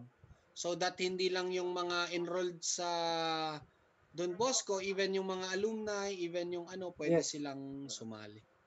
Yup. uh, I think so, yun. parang, oh, nakakabalik. So, parang yun din yung way na nakakabalik yung mga past students ng school, mga past players, past students, doon sa Don Bosco Canduba. yes, yes, yes. So, Nabusog ba kayo dyan, Neil? Nabusog ba kayo doon sa Bulalo? Hindi ka naman, nakailan? masarap. Puntahan niyo yun sa Laguna. Kung kilala niyo si Coach Japoranyo, parang siya yung kausapin niyo papunta doon. Ah, okay. Ayan. So yung nag-coach ka, long hair, oh. So medyo... Ikaw ba yan, long hair. Oo, ako yan. Ikaw ba yan? Medyo... Oo. Siyempre, sa UP naman, walang, ano, walang bawal. So, nagpapatuloy Anong tinira mo dyan? Ah, ano? Wala. Student pa lang ako niyan. Ah, student. Oo, student na nagko-coach din doon sa club. Alam ba ng misis mo yung picture na to? Ah, actually, classmate ko siya nung college. Yun pala. Yun pala. Alam niya yung itsura ko nung college. so, ayan. Um, I think, kung di ako nagkakamali, parang sa, saan ba? Ah, sa, sa ano ata to? Ateneo ata to eh. Basta isang Montfort Cup ba yun sa Ateneo? Ateneo yan, Ateneo yan. Kita ko yung Ah. goal eh. Uh, Mon- Yan yung Montfort goal Cup ng sa Ateneo. eh. uh, Montfort Cup sa Ateneo. So, um, under, kalimutan ko na kung anong age to. Basta, Ah, under Bale- 14.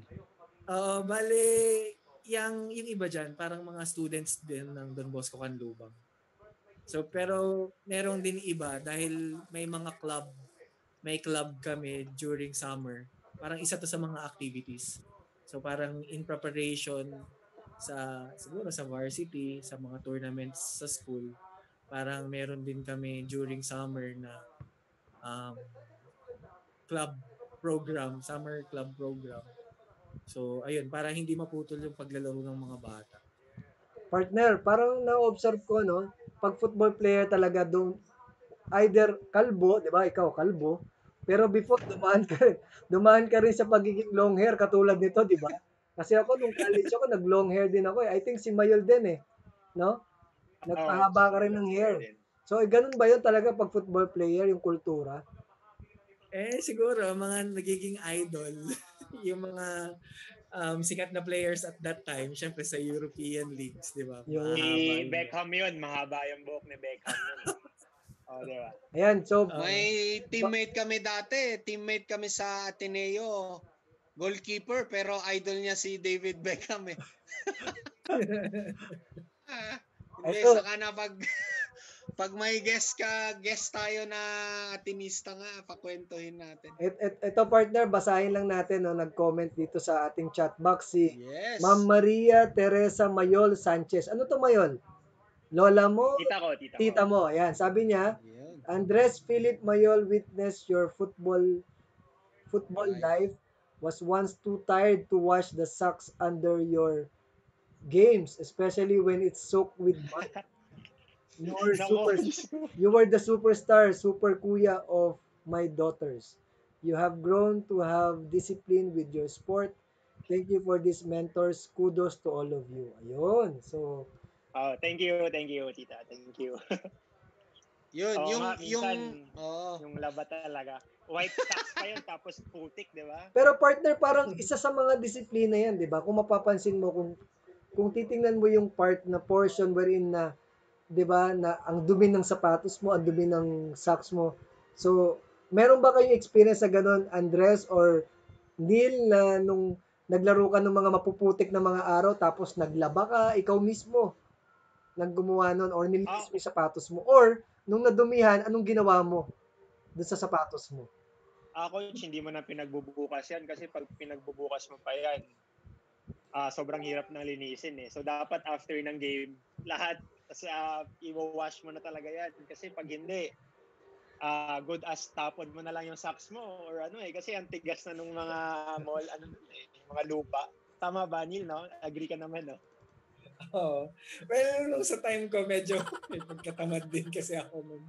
Bale, ang nagiging attitude ko nun, pagdating sa, sa mga, yung sa spike shoes, eh, dahil almost everyday naman kasi naglalaro, well, paminsan hindi ko na rin nililinis. Parang nalilinis ko na lang siya pag may mga tournaments. Pero pag training, yun at yun na rin naman yung ginagamit. So, ayun. Pero, Pero pero may time nun sa... Ay, sorry, sige, sige, sorry.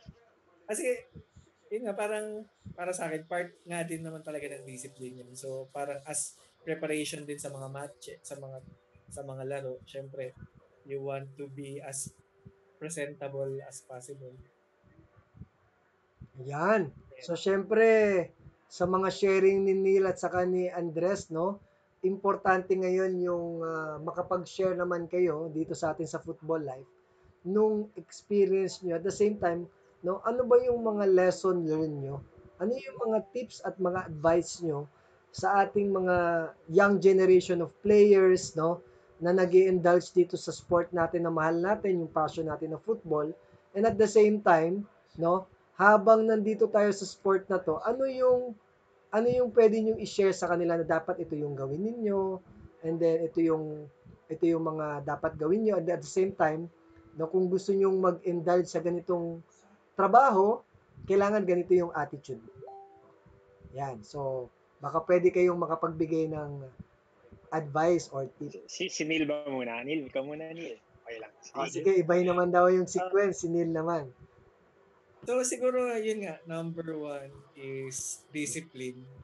Kasi, in, for football, um, kumbaga, hindi mo makakapture lahat ng matututunan mo kung wala kang discipline. Kumbaga, kahit anong sabihin ng coach mo or maraming maraming advice si coach or maraming sinasabi si coach kung wala kang discipline is I think hindi mo siya uh, ma-absorb lahat.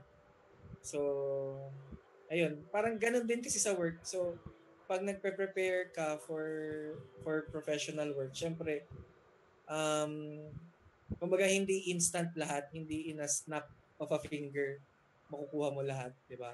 Kumbaga magi-start ka talaga from zero or from scratch. And then yun, parang from that um maraming difficulties, maraming challenges na makakaharap ka. So kailangan may discipline ka para at least um, ma-face mo sila ng tama, makasurvive ka. Uh, kumbaga, malagpasan mo yung mga hurdles. So, yun.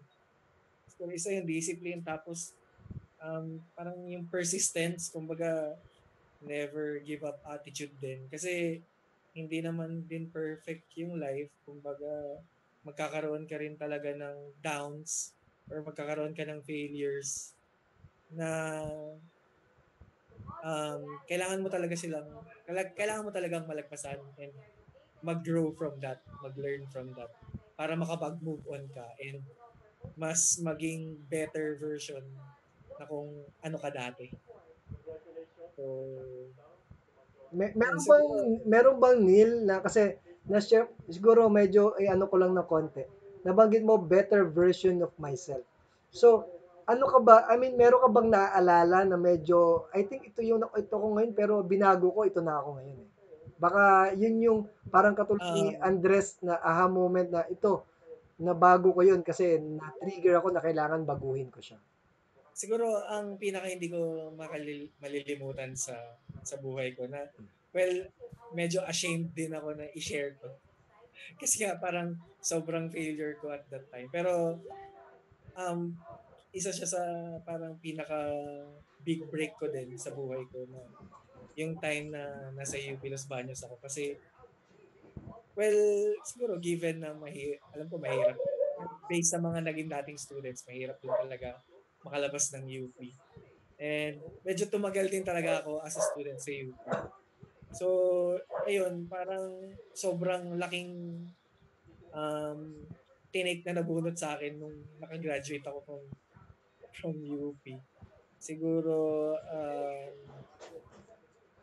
ano ba, ang pinaka pinanghawakan ko nun is, yun nga, yung never, never give up na kahit nasa lowest of low ka na, na, na pakiramdam or nasa pinaka-bottom ka, kailangan huwag ka sumuko.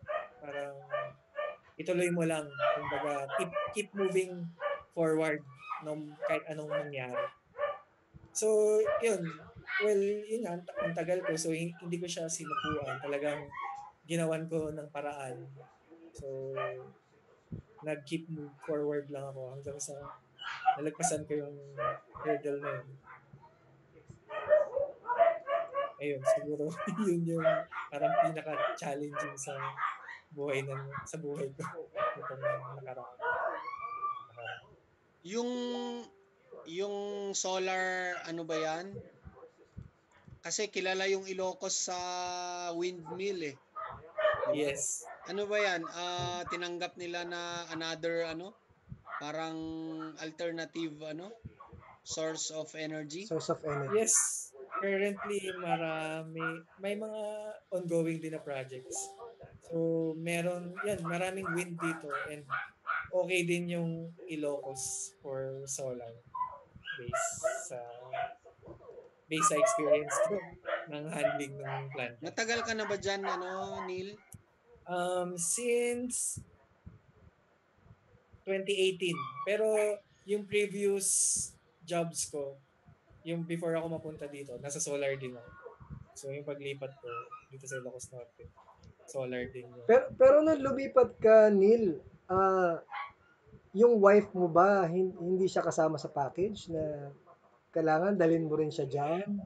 Actually, recently married lang ako eh. So, ayun, na, nung, nung nagpakasal kami, nandito na ako. Ah, okay. Pero we're working, sa ngayon, we're working things out. So, siguro after ng pandemic, medyo maraming changes din ang mangyayari. Yun. Yun. Talagang concern na concern ka, Coach Mike, ah. Siyempre, pa- partner, oo, family, Family person. eh. status niya. Oo, family person. Alam naman natin pag football, di ba? Marami, Yes. marami tayong Oo. mga concerns dyan. Si Andres naman, Andres, si ano Mayol. yung payo mo? Hindi lang Ah, sa playing, pati sa yun ha, yung tinatahak mo na karir mo ngayon. Yes. So, so, so tama lahat ng nasabi na yata ni Neil yung mga discipline, yung passion and everything. Pero based sa experience ko, siguro sa friends ko na rin, at the end of the day, uh, we are student athletes and I think kaya nga nauna yung student, pinaka-importante sa lahat is education pa rin. So, um, yun ang hindi hindi ma, matatanggal sa atin. And dahil sa football, um, nabigyan tayo nito. So, dapat hindi talaga tumigil. So, dapat tapusin yung education. So, I think yun yung isa sa mga ano, mga pwede kong bigay na advice na kung pwede i-balance na yung paglalaro at pag-aaral, mas maganda. Lalo na sa yung ikakareer talaga yung football. Kasi at, at the end of the day, uh, yun yung meron tayo, yung education natin after our football uh, years. So, yun. Um, and siguro yung yun attitude na and then never never say die uh, never say die attitude na don't give up. So, and uh, hindi man darating yung opportunity sa'yo, you have to create the opportunity for yourself. So, yun, yun po yung ano. And then, rewards will just come. Just do your best. Yun lang yun. If you do your best, second na yung mga rewards, darating na lang yan. So, Andy, kasi nakita ko, alam ko naglaro ka rin sa professional, di ba? Naglaro ka sa kaya. So, yes, coach. nagkaroon ka ng moment, naglaro ka sa kaya.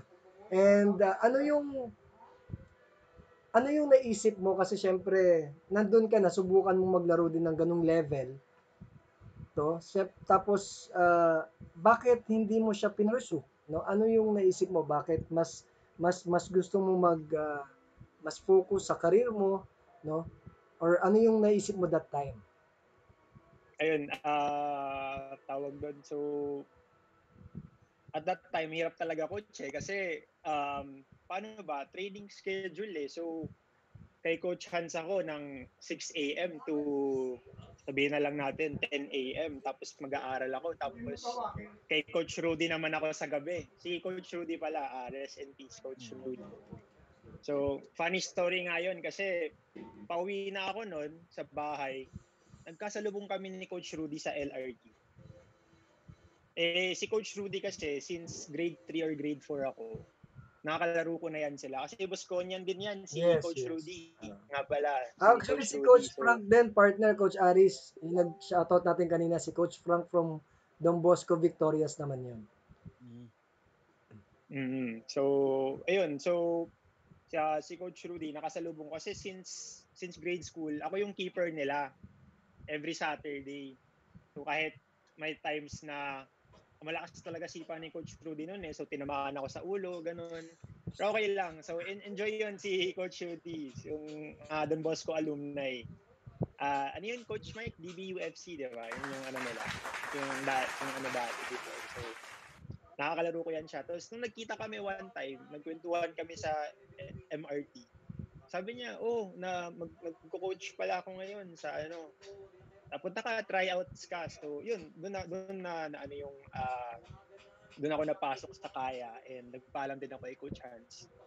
So, at that time, imagine, uh, everyday na yung, hindi naman everyday, MWF lang. Pero kasi sa, sa pro is everyday eh. 6, 6 p.m. to 9 p.m. yun, uh, coach. So, imagine yung, yung start ng, start ng araw ko, 5 a.m., gising na ako noon, or 4.30 a.m., para pumunta sa training ni Coach Hans.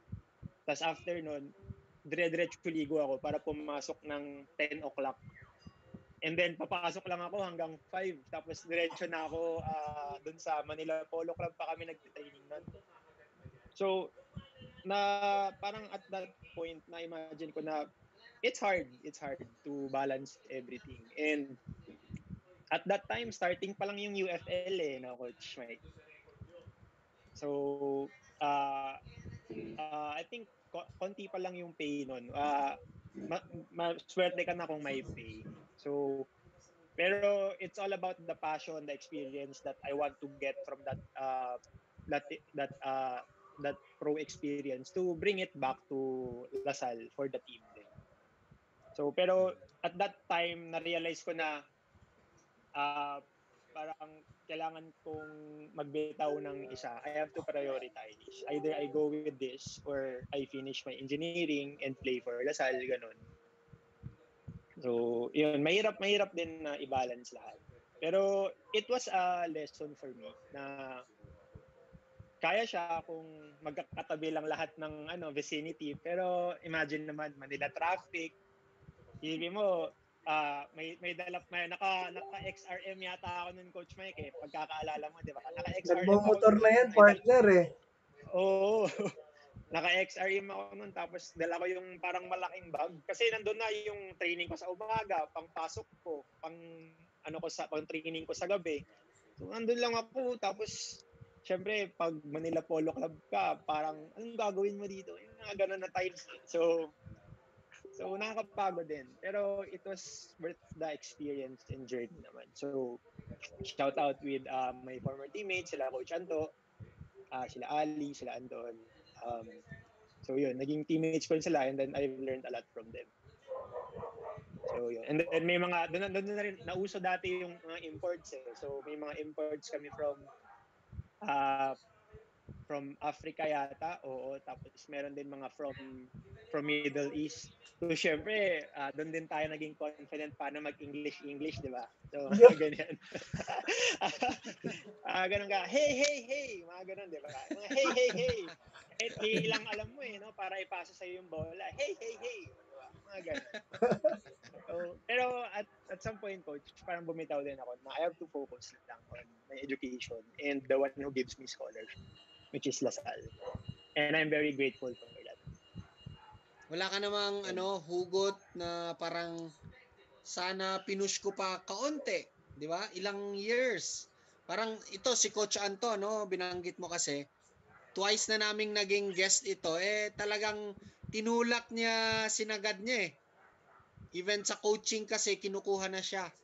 And after ano, nag-stop siya, nag uh, nag-ano pa yan eh.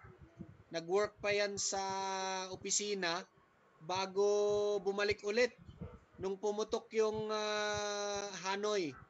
Yung sumikat na yung ano nasa opisina yan si Anto eh. Tapos parang sabi niya kaya ko pa bumalik siya. Ikaw ba merong ganun na siguro? Sana tinulak ko pa. alam mo coach, na, na yun eh. Um, pinaka, isa sa mga pinaka, hanggang ngayon iniisip ko pa rin na sana nag-champion kami sa UAAP. So yun naman yung pinaka ano eh. I think yun talaga yung Lasal na mag-champion sa UAAP. Medyo ah, matagal na yung drought. So hopefully the upcoming generations will bring home the crown. So pero yun, hanggang ngayon, kahit may makita lang ako naglalaro, nangangati pa rin yung katawan ko eh. So, especially now, pandemic, um, ginagawa ko minsan, may bola ako, so may wall naman doon.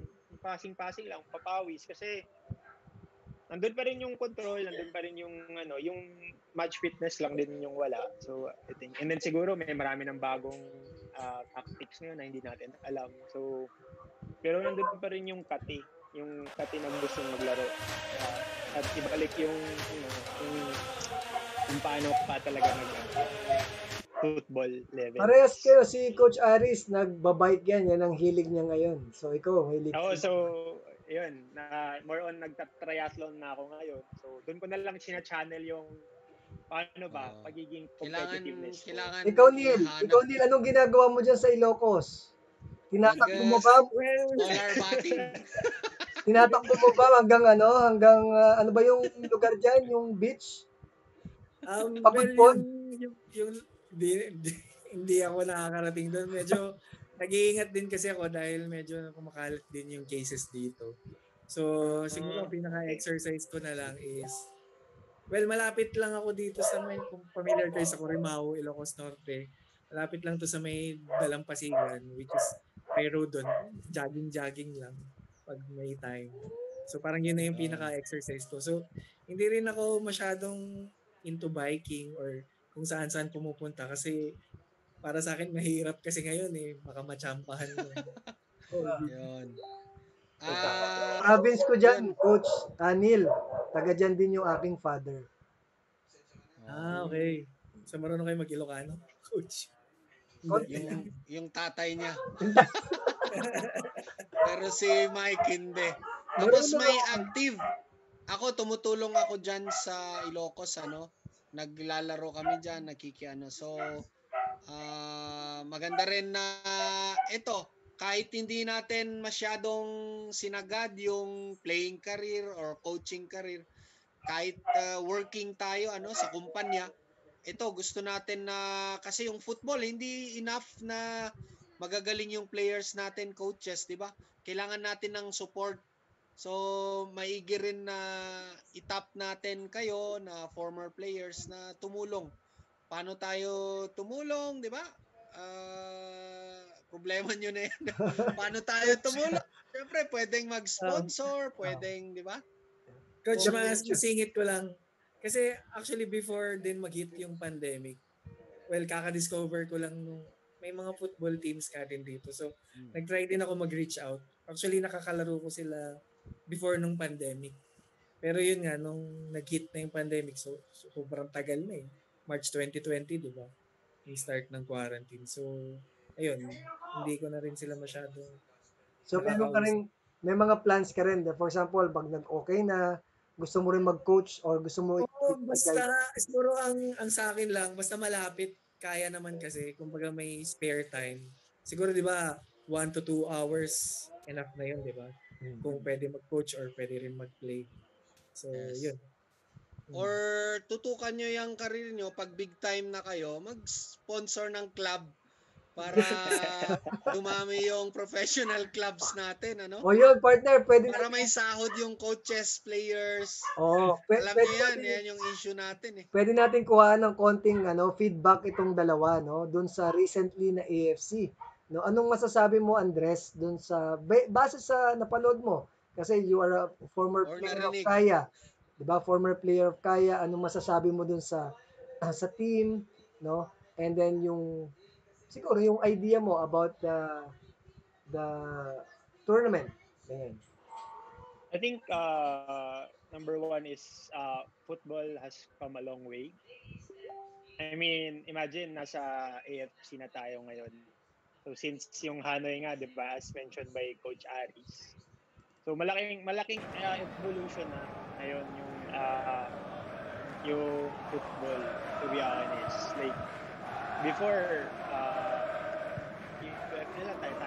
Air Force, uh, uh, malalakas pa nun, mga mga ano to, mga armed forces na ano, 'di ba, na mga military teams. Military team. So, yung last yung last laro ko nga sa kaya, may nakasuntukan pa ako dun sa army yata eh, kaya naban ako noon eh. Hindi totoo 'yun, uh, six six matches akong naban. Dahil sa rumble na 'yun. Kasi maulan eh. Tapos uh, syempre yung rough din naman talaga yung armed forces. So, medyo na nagkaroon ng rumble noon. So, uh, yun na yung last match ko with Kaya. Pero, yun, uh, oh, kasi bumalik na ako sa, ano talaga, nag full time na ako as student in uh, Salasal. And then, ang pinaka ano doon is, yun nga, masyadong uh, sobrang layo na narating ng football. And, for example, yung si, yung naka-goal, yung sa Kaya yata, si Menzi ba yun? Oh. Yes. Si Odi. Oh, yeah, um, yun. Yan. Ka, yeah. oh. Recently, nakausap namin nila Coach Aris yan. Oo, oh, I think naabutan ko pa yata yun before eh. Taga FEU kasi siya, di ba? Tapos oh. naglaro din siya for Baguio nun. So, hmm. nakalaro ko siya sa Suzuki Cup yata yun, NCR team kami, tas Baguio sila. So, ayun, um, malayo na yung mga narating nila. So, dati dito lang sa Philippines, pero they've come international. So, it's a big deal for Philippine football. And siguro lang, yun pa rin, uh, I think, uh, comparing the sa sponsorships naman siguro ng mga kalaban nila, layo, sobrang lugi talaga. I think it lang naman. Sa support talaga. So for sure, in in it will take time, but I believe uh, Philippine football will uh, will be up there. But it's a uh, AFC is a stepping stone for Kaya and Ceres. United City. Ah, United City pala, sorry. So yun, United naging coach ko rin Clark. yun si... United Clark na pala, oh. Ay, sorry. Oh. So, uh, naging coach ko rin yun si Coach Frank sa Suzuki Cup naman. So, uh, good luck, Coach Frank. So, sa upcoming matches. Pero yun, yun yung, um, I think, uh, makakarating din sila or yung Philippine football doon perhaps even in uh, FIFA. So, FIFA World Cup. So for sure yan, uh, I believe. I think every one of us believe that there will come a time. But I hope it will be soon and it will be in our generation. So, Yun. mga mga supporters natin, uh, supportahan niyo yung Philippine football and I highly encourage because it's the sport for the Filipinos. Yun. Oh, si, si- ano, Tony. Changes life. So, yun. Correct. Boss ko, ano yun ha? So sa akin, I think may same sentiment ako. So siguro ang madadagdag ko lang is um siguro hanggat hanggat nandiyan yung mga um, enthusiast siguro at saka mga coaches siguro I think may hope at dadating din talaga yung time na magsha-shining Philippines.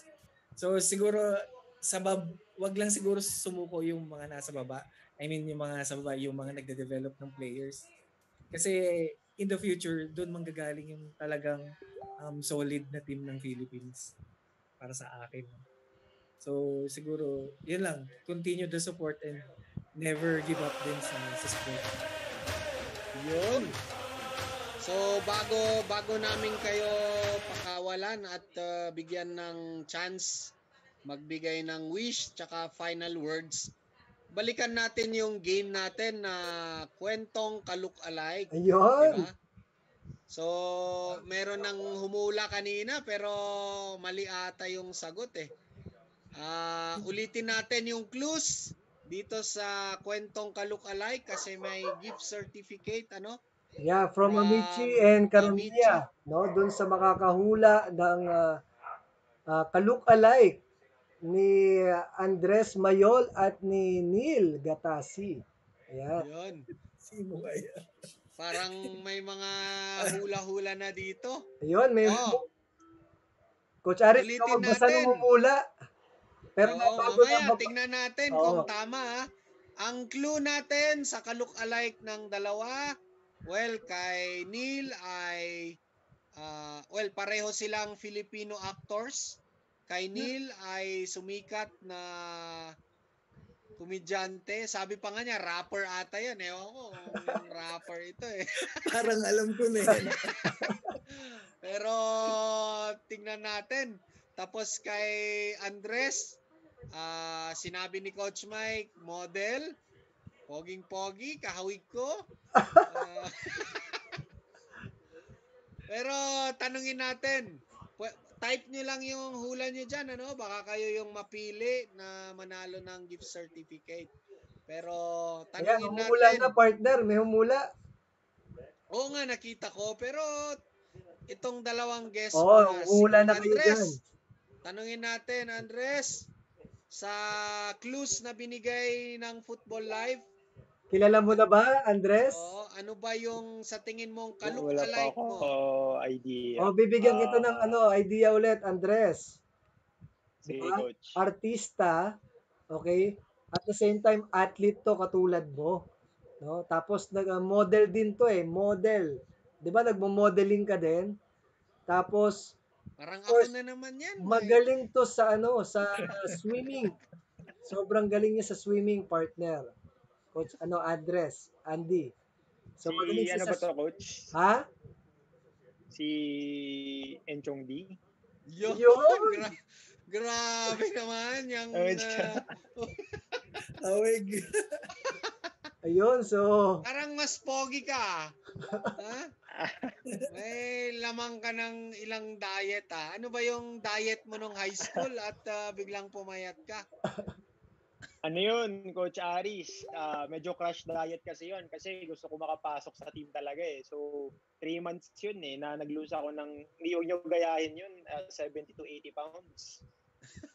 So, i-share mo lang, months, Andres. Eh. Andres, i-share mo lang kasi syempre baka meron kang meron tao na kailangan ah ano, um, ano, ah oatmeal. Yun. As in, walang sugar, wala lahat. Oatmeal sa umaga, oatmeal sa gabi. Tapos, syempre, lunch tayo nun. Medyo estudyante lang kasi. At gusto mong 100 pesos lang baon ko nun eh. So, ang ginagawa ko, since ah, yung lola ko, nagbibigay pa rin sa akin dati, yung 100 yung nabaon, kinukuha ko yung isang sardinas lang na ano, tapos isang cup ng kanin. So, yun yung lunch ko.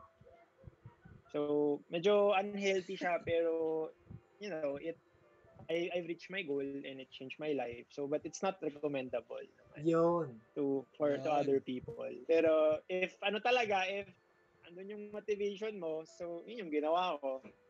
Kaya, Saka kaya. yung pagtakbo, pagpagtakbo talaga ng ano, ng isang oras sa umaga tapos sa gabi. So after ng training ni Coach Mike, alam mo yan Coach Mike, after ng training natin, tatakbo pa ako niyan sa gabi. Extra, oh, extra. oh. Oh, one hour extra work. So from 6 to 7. So minsan nga nakaputi ako noon. Hindi ko alam may natatakot ba sila kasi may tumatakbo sa field na nakaputi.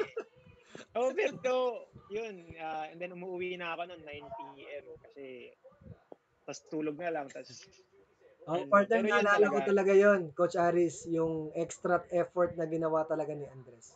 No, talagang Yun. after training, mag-extra pa yan. Very dead, ano, very uh, decided siyang pumayat. Yun, congratulations. Ayan, si Neil. Naga, nag, nagalit pa nga yan si Coach Mike sa akin kasi may one time, hindi lang enough yung pagtakbo. Ninakaw ko yung parang ball bag eh. Tapos nagsisipa-sipa pa ako doon. No? Eh may nawa nga na walang bola. So, galit yata siya nun. Baka sinisi ka pa. Hindi, hindi niya yata alam yun eh. Pero hindi na ako umamin nun. Ngayon ko lang sinabi Ngayon yun, na lang, oh. Ngay- Ngayon, ikaw pala eh. Kaya pala nakukulang yung bola eh. May utang ka kay Mike na isang bola, ha? oh, si Neil. Sino ba yung nasa isip mo? Parang ano ah, idol natin ito. Hindi. well, sino ba yan? Si Andrew iba yan. Ay, mali, partner. Eh, hindi. Nagkamali. ah, talaga. Kamukha ko si Bitoy. Grabe. Si Bitoy. Siyempre, kita mo naman yung pisngi. Oh, ayan oh. Pati yung Pero kilay. syempre, mas matinik ka kay Bitoy. Alam natin yan. Ayan. Oh, anyway, katuwaan lang ito, no? Pero I think may nanalo, Coach Mike. Nauna ba si Ma'am Nadia kaysa Oo, kay at- Mami Becca? Oo, nauna si Nadia. So, and at the same time, nanghula din si Mami. And Oo. Chundi. Ayan. Okay. Medyo lampas tayo ng ilang minutes, pero late late din kasi tayo. Ang lagi naming tinatanong, Coach Mike, sa mga guests natin bago bago shout out ay ano ba ang final ano ba yung wish nyo ngayon na ano Ah, siguro wag na yung pandemic kasi lahat tayo Umay na, challenge. umay na. Umay na sa pandemic. Anong wish nyo na lang sa family, sa career, or football? Bahala na kayo kung anong ano. Kasi dito sa football life, muna, nangyayari.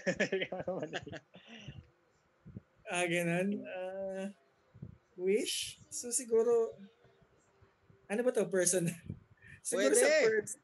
Pwede mo i-wish yung wife mo, papuntahin mo dyan. Alam ko, miss na miss di ba? Well, parang related din naman sa pandemic. So, um, yun nga. ah, siguro healthy, healthy life. Healthy life sa akin, then siguro sa family. And siguro sa lahat na rin. Um, I think eh, at the moment yun kasi yung mag, magpapasaya. magpapasaya tsaka yung parang So, siguro kung related naman sa football, yun, siguro I wish na yung Philippines din maging um, parang one of the top football countries in the world. Sana, Yun. hopefully. Ayun. Well, yun nga, nanini yun, yun, inuulit ko lang, naniniwala talaga ako na parang hanggat, hanggat nandyan yung mga coaches, hanggat eager yung mga coaches, hanggat may passion, um, football will never die and will continue to flourish. So, yun. Yun. Galing. Yun. Pwede na kumandidato, partner. Oo. Ayan, si Andres naman. Andy.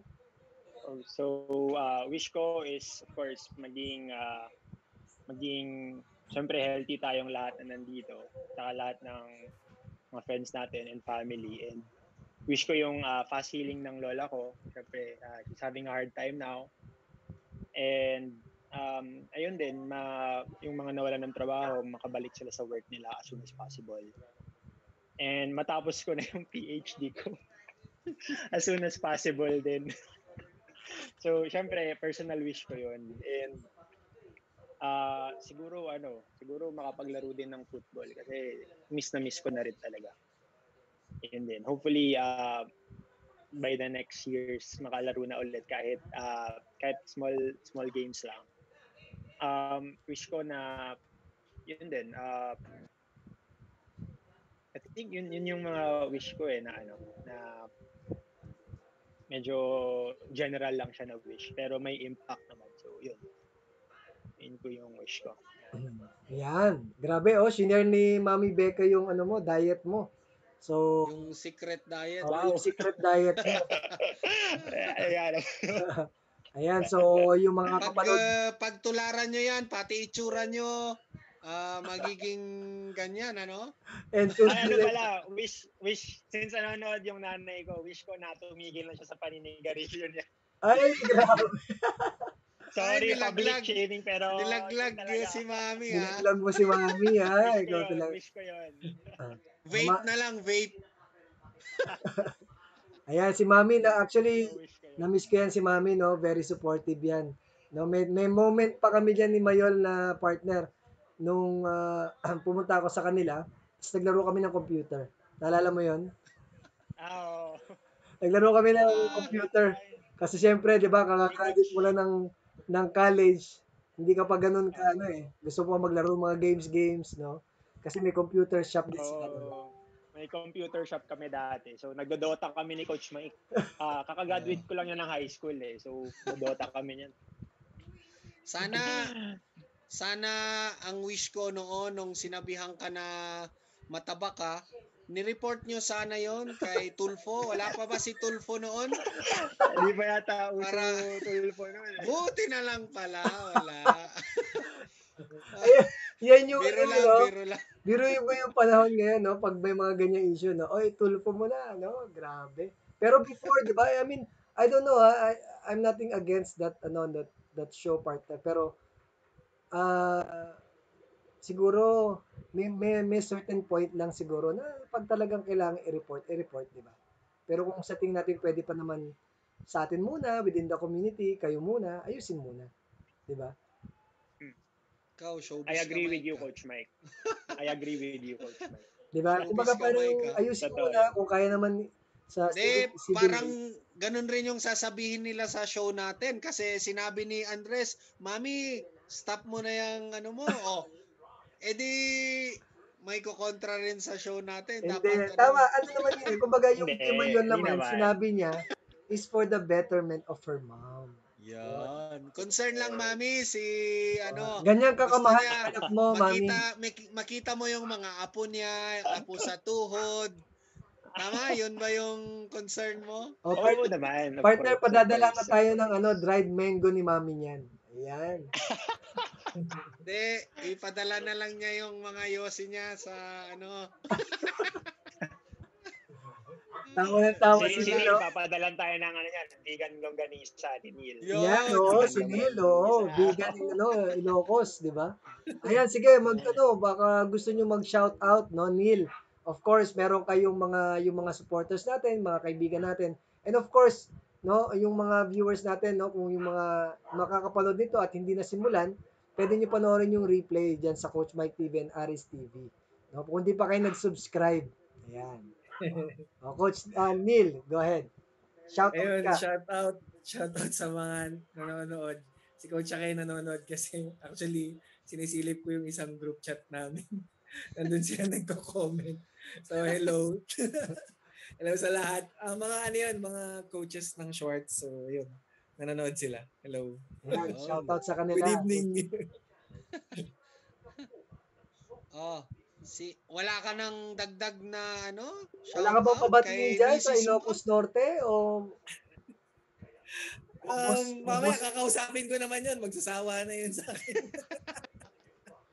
or kay boss, kay boss mo dyan?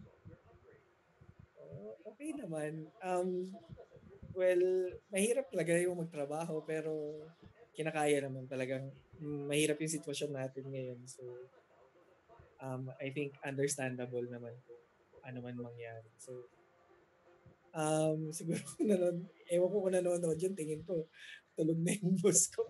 So, everything will be all right. Nandito naman ako. Sabihin mo, panoorin sa replay. Kamo, oh, boss, shout out kita, panoorin mo sa simula. Ayan, si ah, Mayol. Ayan, nagbanggit pala si John Paul Ranyo. Nice, Nel. Oh, yun, oh. Si Coach John, Coach JP. Oh. So, doon kayo magpa, ano, magpa-treat ng bulalo. Ayun pala. Coach JP, ha? Pag nag-okay na yung panahon, samahan mo kami ni Coach Aris dun sa bulalo na yon. Ayan, go ahead, uh, Andy. Ah, ayun. So, shout out sa, siyempre sa mom ko na nanonood, sa ever supporting mom. Ah, kay Tita Marites, sa sa family ko sa Cebu. Um, ah, shout out sa ah, lahat ng naging coach ko ever since elementary. So, siguro, mabilis lang naman yan. Isa-isahin ko na kayo. Kung hindi ko man kayo mabate, sorry. So, pero, yun, ah, Coach Arman, Coach Tagoy, Coach David, Coach Nonoy, Coach Mike, Coach Noel. Yun lang yata sa high school eh. So yun. Um, and then, college ko, syempre, pinaka-ever-loving Coach Hans. Uh, miss you so much. Belated happy birthday. Um, Coach Alvin, Coach Manji, Coach Stating, uh, mga nag-mold sa akin sa football. Uh, Coach Lolong, Coach Lolong Valencia. So yun. And uh, shout out sa colleagues ko sa DLSU, sila Doc Ryan, Doc Ardrel, uh, Ma'am Jane, uh, and yun, yun po yung ano, yun po yung uh, shout out ko. Coach. An- Andres, shout out mo naman si Ma'am Naj. Ma'am Nudge. Ma'am Nadia Shout Goloy. out kay ah ah Ma'am Ma'am Nadia. Hi, oo nga. Oo, tama. Hi, ma'am. Shout out din kay Ma'am Nadia. Wala ka bang Ah, advice? You're watching. Papayuhan mo nga si Mike, yung kalokohan ni Mike para magbago. Bumangot ka, Coach Aris, ha? Eh, nagpapa-shoutout So, kay, sa- no? Nagpa- nagpapa-shoutout kay, ano, kay Andy. Ayan. Ah, shout out po, ma'am. So, yun. Ah, see you soon. And then, yun, shout out sa colleagues ko and sa mentors ko. Hanggang ngayon na sinusuportahan pa rin ako. So, yun. And then, Yun. ah, siya- ano ko rin, ah, gusto ko rin pasalamatan si Coach Aris and Coach Mike for really inviting me in this show.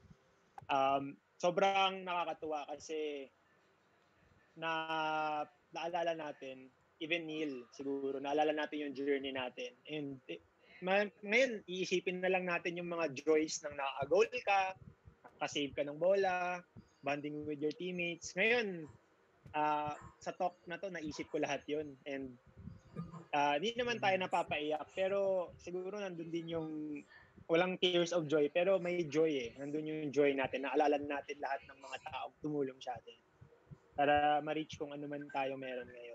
So, dapat hindi natin silang kalimutan. Yun. Yun. Yun ang importante And doon. Kaya Yung shoutout natin si Ambrosio Edades. More power, Yes. Coach Aris and Coach Mike. Ayan. Yes, kasama natin 'yan dito sa Dagupan. Yes. Tapos yung minention ni Mayol ano, hindi lang yung memories kasi we wanted to inspire yung mga susunod, 'di ba? Kasi we're promoting football, hindi lang yung football sa professional, pero outside like kayo, nanggaling kayo mismo sa football program and then ginagamit nyo yon yung na-build nyo na character, natutunan nyo, di ba? Sa Don Bosco and outside Don Bosco, ginagamit nyo ngayon sa trabaho nyo. And eventually, si Neil sa family niya, kasi bagong kasal lang, gagamitin niya rin yun bilang leader ng pamilya. Ikaw rin, uh, Andres, later on, di ba? Sa mga natutunan mo sa coaches mo. sa future Sabay love life mo, di ba? Sabay tawa. Naalala niya yung ano eh, yung trademark ni Coach Arman eh. Ah, para ano, ito, naka-record ito ha, lifetime, naka-save sa internet. Kaya balik-balikan nyo ito, balikan nyo yung, yung mga apo nyo, papanoorin ito later on. So, maganda. Yun, so thankful actually kami yung nagpapasalamat. Ang dami naming ini-invite. Uh, Siyempre, lahat nahihiya or takot natatakot siguro. Pero kayo, ang tapang nyo to really, di ba? i-share yung football experience nyo. And I think maganda. Uh, hindi lang yung mga yung mga naglaro sa mataas na level, di ba? Gusto natin dito yung lahat dumaan tapos tumutulong sa football. So thank you very much. Sana ipagpatuloy nyo yung ginagawa nyong mabuti. Huwag nyong kalimutan yung football program natin kahit matatanda na tayo, manood tayo ano ng mga football uh, uh, journey ng pag-angat ng football sa Pilipinas. Ikaw, Mike, yun, yun, wala ka yung, bang hirit? Yung maganda kasi doon, partner, yung opportunity na mapakinggan din sila, di ba? No, yung, yung simple things na ginagawa nila. And then yung football, yung nakuha nila sa football, papunta dun sa career nila.